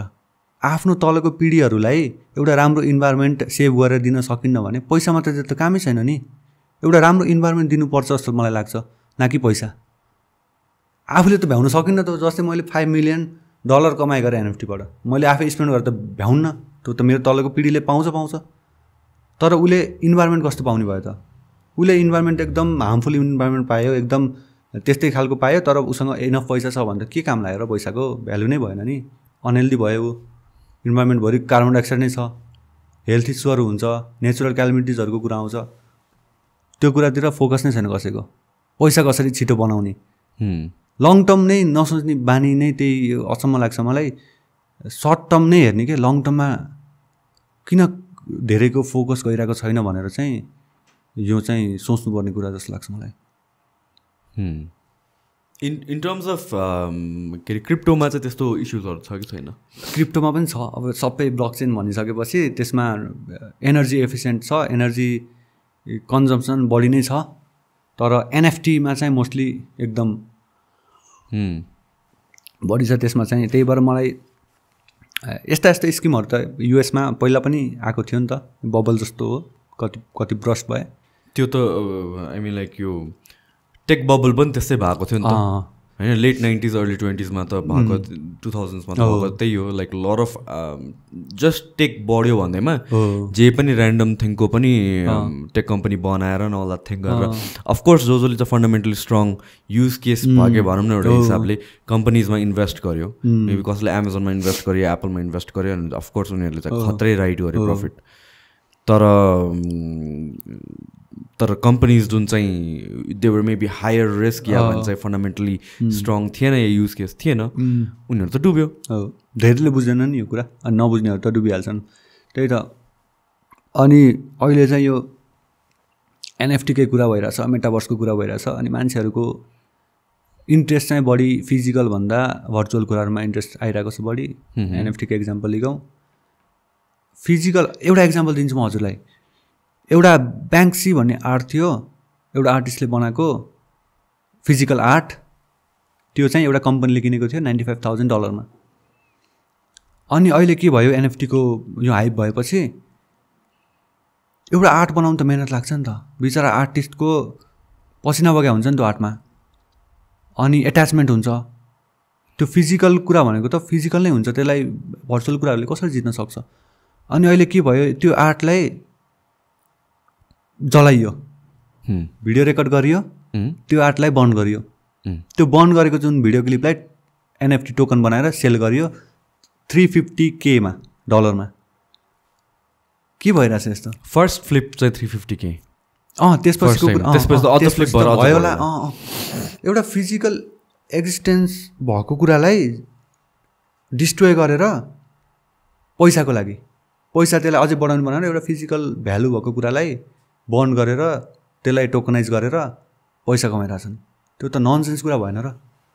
मोनालिसाको पेन्टिङ पनि भोलि बिहान गरेर उस गर्लान् अरे। टोकनाइज गर्लान् जलाएर। त्यो त पैसा कमाउने भनेर त्यो फिजिकल भ्यालु भएको कुरालाई हटाउनु चाहिँ हुन्न जस्तो लाग्छ मलाई। त्यस्तो त्यो त एउटा केस हो नि त। त्यस्तो केस त कति भाषा भाषा। सर्ट टर्म पैसा कसरी बनाउने? अनि अब एनएफटीको कुरामा फेरि यो कपिराइटको कुरा पनि आउँछ। अब जो कोहीले पनि अब तपाईँले खिचेको फोटोग्राफी तपाईँले बनाएको आर्ट तपाईँले भन्दा पहिला मैले मिन्ट गरिदिएँ। ब्लक चेनमा मैले मिन्ट गरिदिएँ भने त त्यो त मेरो भयो। तर अफिसियली त त्यो मेरो होइन त्यो त तपाईँको हो नि त। त्यस्तो त कति भाषा भाषा कपरेट ल लाग्दैन त नि। लाग्छ ल त तर त्यस्तो त्यो फ्रड केसेसहरू कति भाषा भाषा नि त कति केसहरू पनि लगाएको छ। त्यस्तो न्युजहरू त कति छ कति छ सर्च गर्ने भने त कपिराइटको कुराहरू अरूको आर्टहरू कपी गरेर अनि मिन्ट गरेर पैसा कमाएको धेरै केसहरू छ। त्यही भएर अनि यस्तो स्योरिटी नै छैन यहाँ। कुनै आर्टको ओनरसिप को स्योरिटी नै छैन। जसले पनि मिन्ट गर्न पाए अनि सेल गरिरह यस्तो भ्यालुएबल भनेर यो त्यही भएर एनएफटी चाहिँ लङ टर्ममा यो यो आर्टको कुरा है NFT as a NFT token चाहिँ एकदम राम्रो कन्सेप्ट हो तर यो आर्टको कुरालाई यो अहिले जस्तो हाइप क्रिएट भइरहेको छ त्यो चाहिँ एउटा बबल नै हो जस्तो लाग्छ मलाई पर्सनल ओपिनियन धेरैलाई त्यो कुरा चित्त बुझ्दैन फेरि तर आफ्नो ओपिनियन त दिनु पाइयो लेट्स टक अबाउट लास्टमा चाहिँ युट्युब कस्तो छ एज अ करियर नेपालको कन्टेक्स्टमा नेपालको कन्टेक्स्टमा YouTube you see yourself YouTube continue गर्छु जस्तो लाग्छ तिमी लङ टाइमसम्म गर्छु जस्तो लाग्छ मलाई। अहिले अहिले म फुल टाइम कन्टेन्ट क्रिएटर नै छु। मैले अरू केही पनि गर्दिनँ अहिले। सानो सानो कुरा पार्ट टाइममा त मैले मल्टिपल कुरामा हात छ मेरो तर फुल टाइम चाहिँ मेरो कन्टेन्ट क्रिएसनमै छ। अनि मलाई विश्वास छ युट्युबमाथि अथवा लाइक युट्युबमाथि त नभनौँ मलाई विश्वास छ यो कन्टेन्ट क्रिएसनको फ्युचरमाथि अबको चार पाँच वर्षमा त एकदम राम्रो ग्रोथ हुन्छ। त्यही अनुसारको सबै कुरा राम्रो हुन्छ जस्तो लाग्छ मलाई। त्यही भएर मैले त यो युट्युब छोड्ने काम चाहिँ गर्दिनँ। अनि यो बेस्ट टाइम जस्तो लाग्छ मलाई। कोही युट्युब स्टार्ट गर्न खोज्दैछ किन भन्दाखेरि नेपालको मार्केट एकदम र छ सानो छ।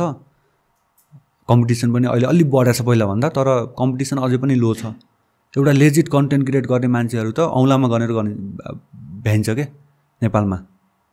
अनि त्यही भएर एउटा यदि राम्रोसँग कन्टेन्ट क्रिएट गर्ने कोही हुनुहुन्छ भने त एन्टर गऱ्यो भने त फ्युचर एकदम ब्राइट छ। तर युट्युबमा मात्र सीमित हुनु भएन। टिकटक पनि टिकटकमा नि क्रिएट गर्नु पऱ्यो। सबै प्लेटफर्महरूमा चाहिँ कन्टेन्टहरू बनाउनु पऱ्यो। फ्युचर चाहिँ राम्रो छ। मैले चाहिँ पहिला दस बाह्र वर्ष अगाडिको कुरा हो कि? त्यतिखेर के भनिन्थ्यो भने the future most valuable asset भनेको डेटा हुन्छ भनेर भन्थ्यो कि? अनि म त्यतिखेर बुझ्दै बुझ्दैन कि रिलेट नै गर्न सक्दिनँ कि। कसरी हुन्छ र त्यो? कसरी हुन्छ र जस्तो लाग्थ्यो कि? तर now I can see that कि डेटा कन्टेन्ट जसरी डिफ्रेन्ट यो एमाजोनहरूदेखि लिएर फेसबुकहरूले डेटा सेल गर्ने एन्ड अल द्याट थिङ र I think in the future यो झन् त्यो it's just going to grow मात्र के। ग्रो नै हुन्छ नि। मेटाभर्सको कुरा छ। अनि? हरेक कुरा हामीले मेटाभर्समा अपडेट गरेर हुन्छौँ आफ्नो इन्ट्रेस्टको कुरादेखि लिएर सबै कुरा। त्यो डेटा त फेसबुकले हामीलाई फ्रीमा किन प्लेटफर्म चलाउनु दिन्छ र? उसले त त्यहाँबाट त उसले त पैसा कमाउनु नै छ। ठिक छ एडहरूबाट कमाउँछ तर यदि कुनै कम्पनीले तपाईँलाई कुनै प्रडक्ट फ्रीमा दिइरहेको छ भने त्यो फ्रीमा दिइरहेको छैन उसले। उसले तपाईँको डेटा युज गरेर पैसा कमाइरहेछ। You are the product. You are the product त्यो कुरा चाहिँ बुझ्नुपर्छ। त कम्पनी भएपछि त्यत्रो स्टाफ पालिरहेछ। पैसा त कमाउनु पऱ्यो नि। फ्रीमा प्रोडक्ट दिएर त त्यो कामै छैन। एडभर्टिजमेन्टबाट कमाउँछ अनि युआर द प्रडक्टै यो कुरा। मैले वान अफ द पडकास्ट मैले सुनेको त्यसमा चाहिँ वान अफ द एक्सपर्टले के भन्नु भनेको थियो भनेपछि यो जुन स्पाइङ एन्ड एभ्रिथिङको कुरा छ नि त स्पेसली एन्ड्रोइड फोन्सहरू अफ नै छ भने पनि इन्टरनेटसँग कनेक्ट भएको छैन भने पनि पर पर आवर कति एमबीको डेटा चाहिँ उसले अपलोड गरिरहेको छ अरे क्या? या सेभ गरेर राखिरहेको हुन्छ? लेट्स तिमी पाँच घन्टासम्म तिमी इन्टरनेटमा कनेक्टेड छैनौ।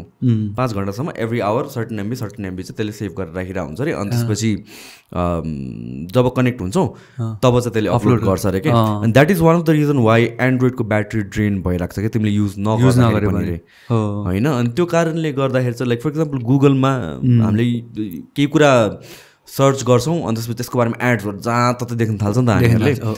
त्यो पनि भयो. अनि one of the amazing incident के भएको थियो भनेपछि एकजना भाइ आएको थियो कि बाहिरबाट। अनि त्यसपछि मलाई त्यतिखेर स्टक्सहरू यताउतिको बारेमा केही पनि थाहा थिएन। अनि त्यसपछि उसले चाहिँ टक अबाउट स्पेसिफिकली मैले लाइफमा फर्स्ट टाइम सुनेको वर्ड पिप्स पिप्स हुन्छ नि यति. पिप्स होइन? के हो पिप्सन पिप्स भनेको यतिको इन्क्रिमेन्ट भन्ने कुरा हो टेक्निकल। गर्दाखेरि इट्स टर्म अनि त्यो भन्ने सुनेको थिएँ। लिटरली म त्यो कन्भर्सेसनबाट घर गएँ आधा एक घन्टामा मलाई इन्स्टाग्राममा त्यो स्टोरी एडमा चाहिँ त्यो पिप्ससँग related some kind of app आयो रेकमेन्डेसन आयो कि। म त छक्क परेँ।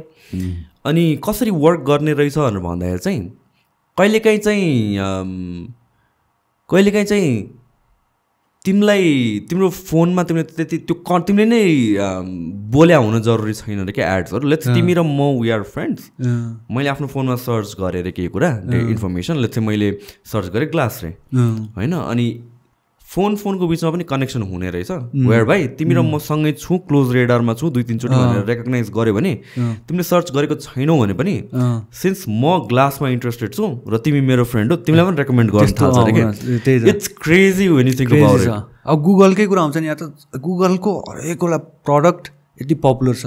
सर्च इन्जिनदेखि लिएर। सबै कुरा लाइक गुगलले नै इन्टरनेट ओन गर्छ जस्तै भयो कि जेनरल लागि। त। मोनोपोली गरेकै छ नि गुगलले हरेक कुरा गुगलले हरेक कुराको डेटा राखिरहेको हुन्छ। कतिपय डेटाहरू त हामीले आफैले पनि हेर्न मिल्छ। अनि त्यो डेटालाई त उसले युज गर्ने नै भयो। मोनिटाइज गरिहाल्छ। मोनिटाइज गरिहाल्छ। अनि डेटा मोनिटाइज गरेपछि त रेभेन्यू। यही विषयमा एउटा पाइ पाइ नेटवर्क भन्ने कुरा छ। सुन्नुभएको छ। पाइ पाइ बुझाएको छैन। के हो? What is that Pi network? Pi network भन्ने एउटा पाइ एप भन्ने छ। होइन? अब त्यो अनुसार चाहिँ यहाँ पाइ एपभित्र यहाँ पाइ कोइन भन्ने हुन्छ।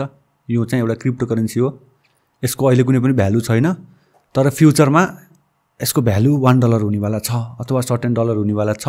तर यो त एक्जिस्टेन्समा भइरहेको त धेरै टाइम भइसक्यो धेरै भइसक्यो नि दाइ। एउटा एट्टिनदेखि हो सायद सुरु भयो अनि टु थाउजन्ड नाइन्टिनमा लन्च गर्ने। एक्सचेन्जमा क्रिप्टो एक्सचेन्जमा लन्च गर्ने भनेर भनियो। अहिले टु थाउजन्ड ट्वेन्टी टू सुरु भइसक्यो। त्यसको युज केस केही छैन? केही पनि छैन नि। त्यसले के फाइदा उठायो भन्दाखेरि क्रिप्टो माइनिङ गर्न ठुल्ठुलो सिस्टमहरू चाहिन्छ।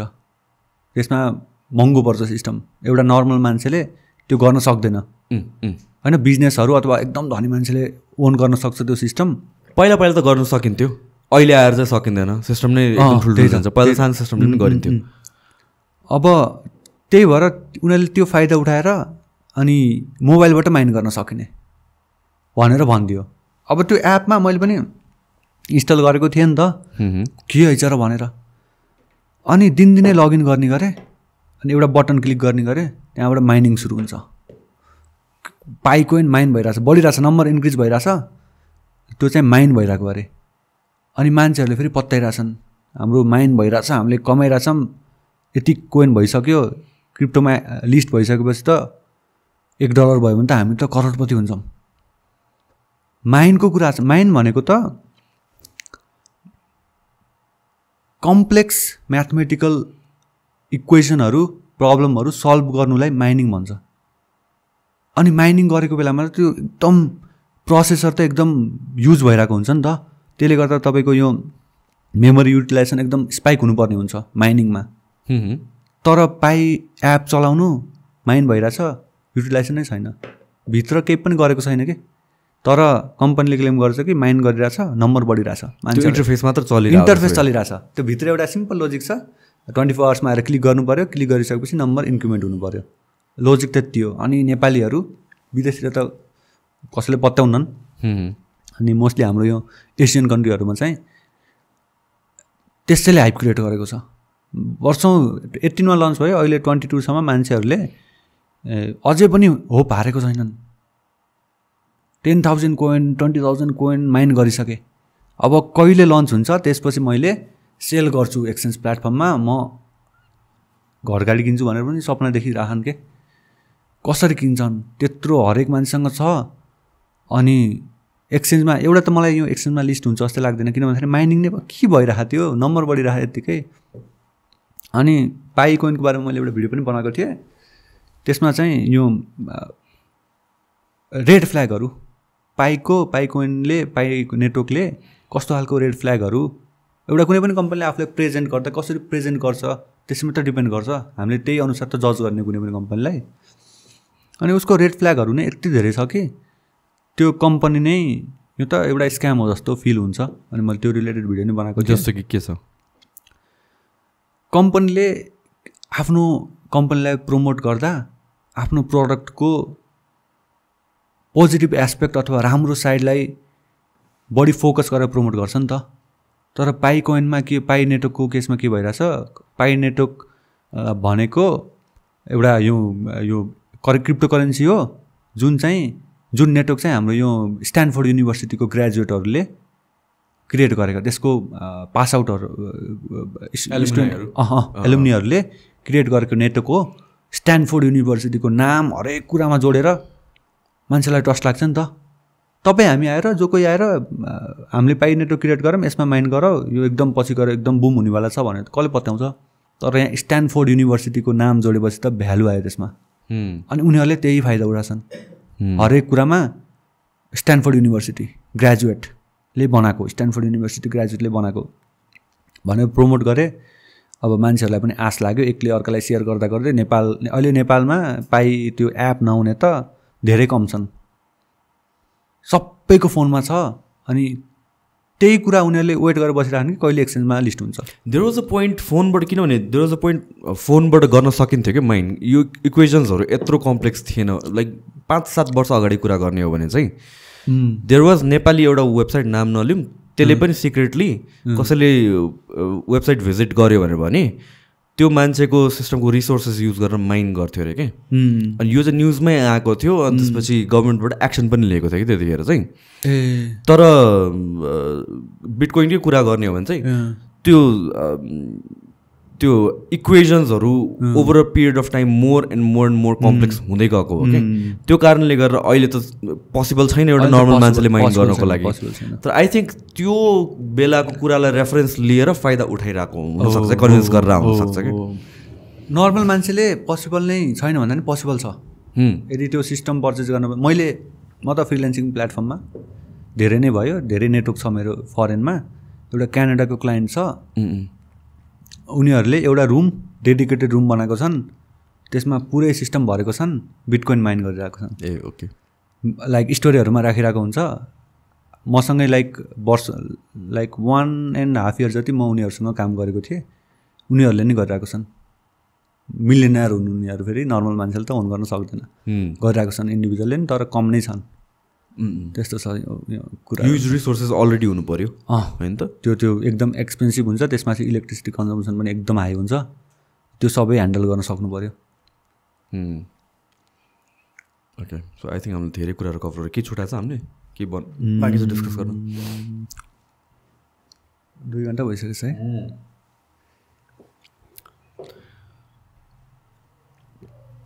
आ केही छ त? भन्नुपर्ने। हामीले त धेरै कुरा कभर गरिसक्यो जस्तो छ अलमोस्ट अलमोस्ट भइसक्यो होला। है सो लेट्स एन्ड दिस है यहीँतिर। Thank you so much bro आएकोमा आई थिङ्क लाइक धेरैजनाले कति कुराहरू बुझ्यो मैले पनि कति कुराहरू बुझेँ। I enjoy conversations like these when it's about technology and stuff like that होइन। कति कुरा मैले नै बुझा हुँदैन र मलाई चाहिँ इन्ट्रेस्ट भइरहेको हुन्छ कि यो कुराहरूमा। So it was wonderful having you here thank you so much हजुरलाई पनि। लाइक इन्भिटेसनको लागि। लाइक अलिकति अनएक्सपेक्टेड थियो मेरो लागि। अनि like I am so glad के? यहाँ आएर बोल्नु पाउँदा अनि केही आफूसँग भएको नलेज सेयर गर्नु पाउँदाम भेरी ग्ल्याड बजे थ्याङ्क यू सो मच है thank you so much for guys for watching also you guys next एपिसोडमा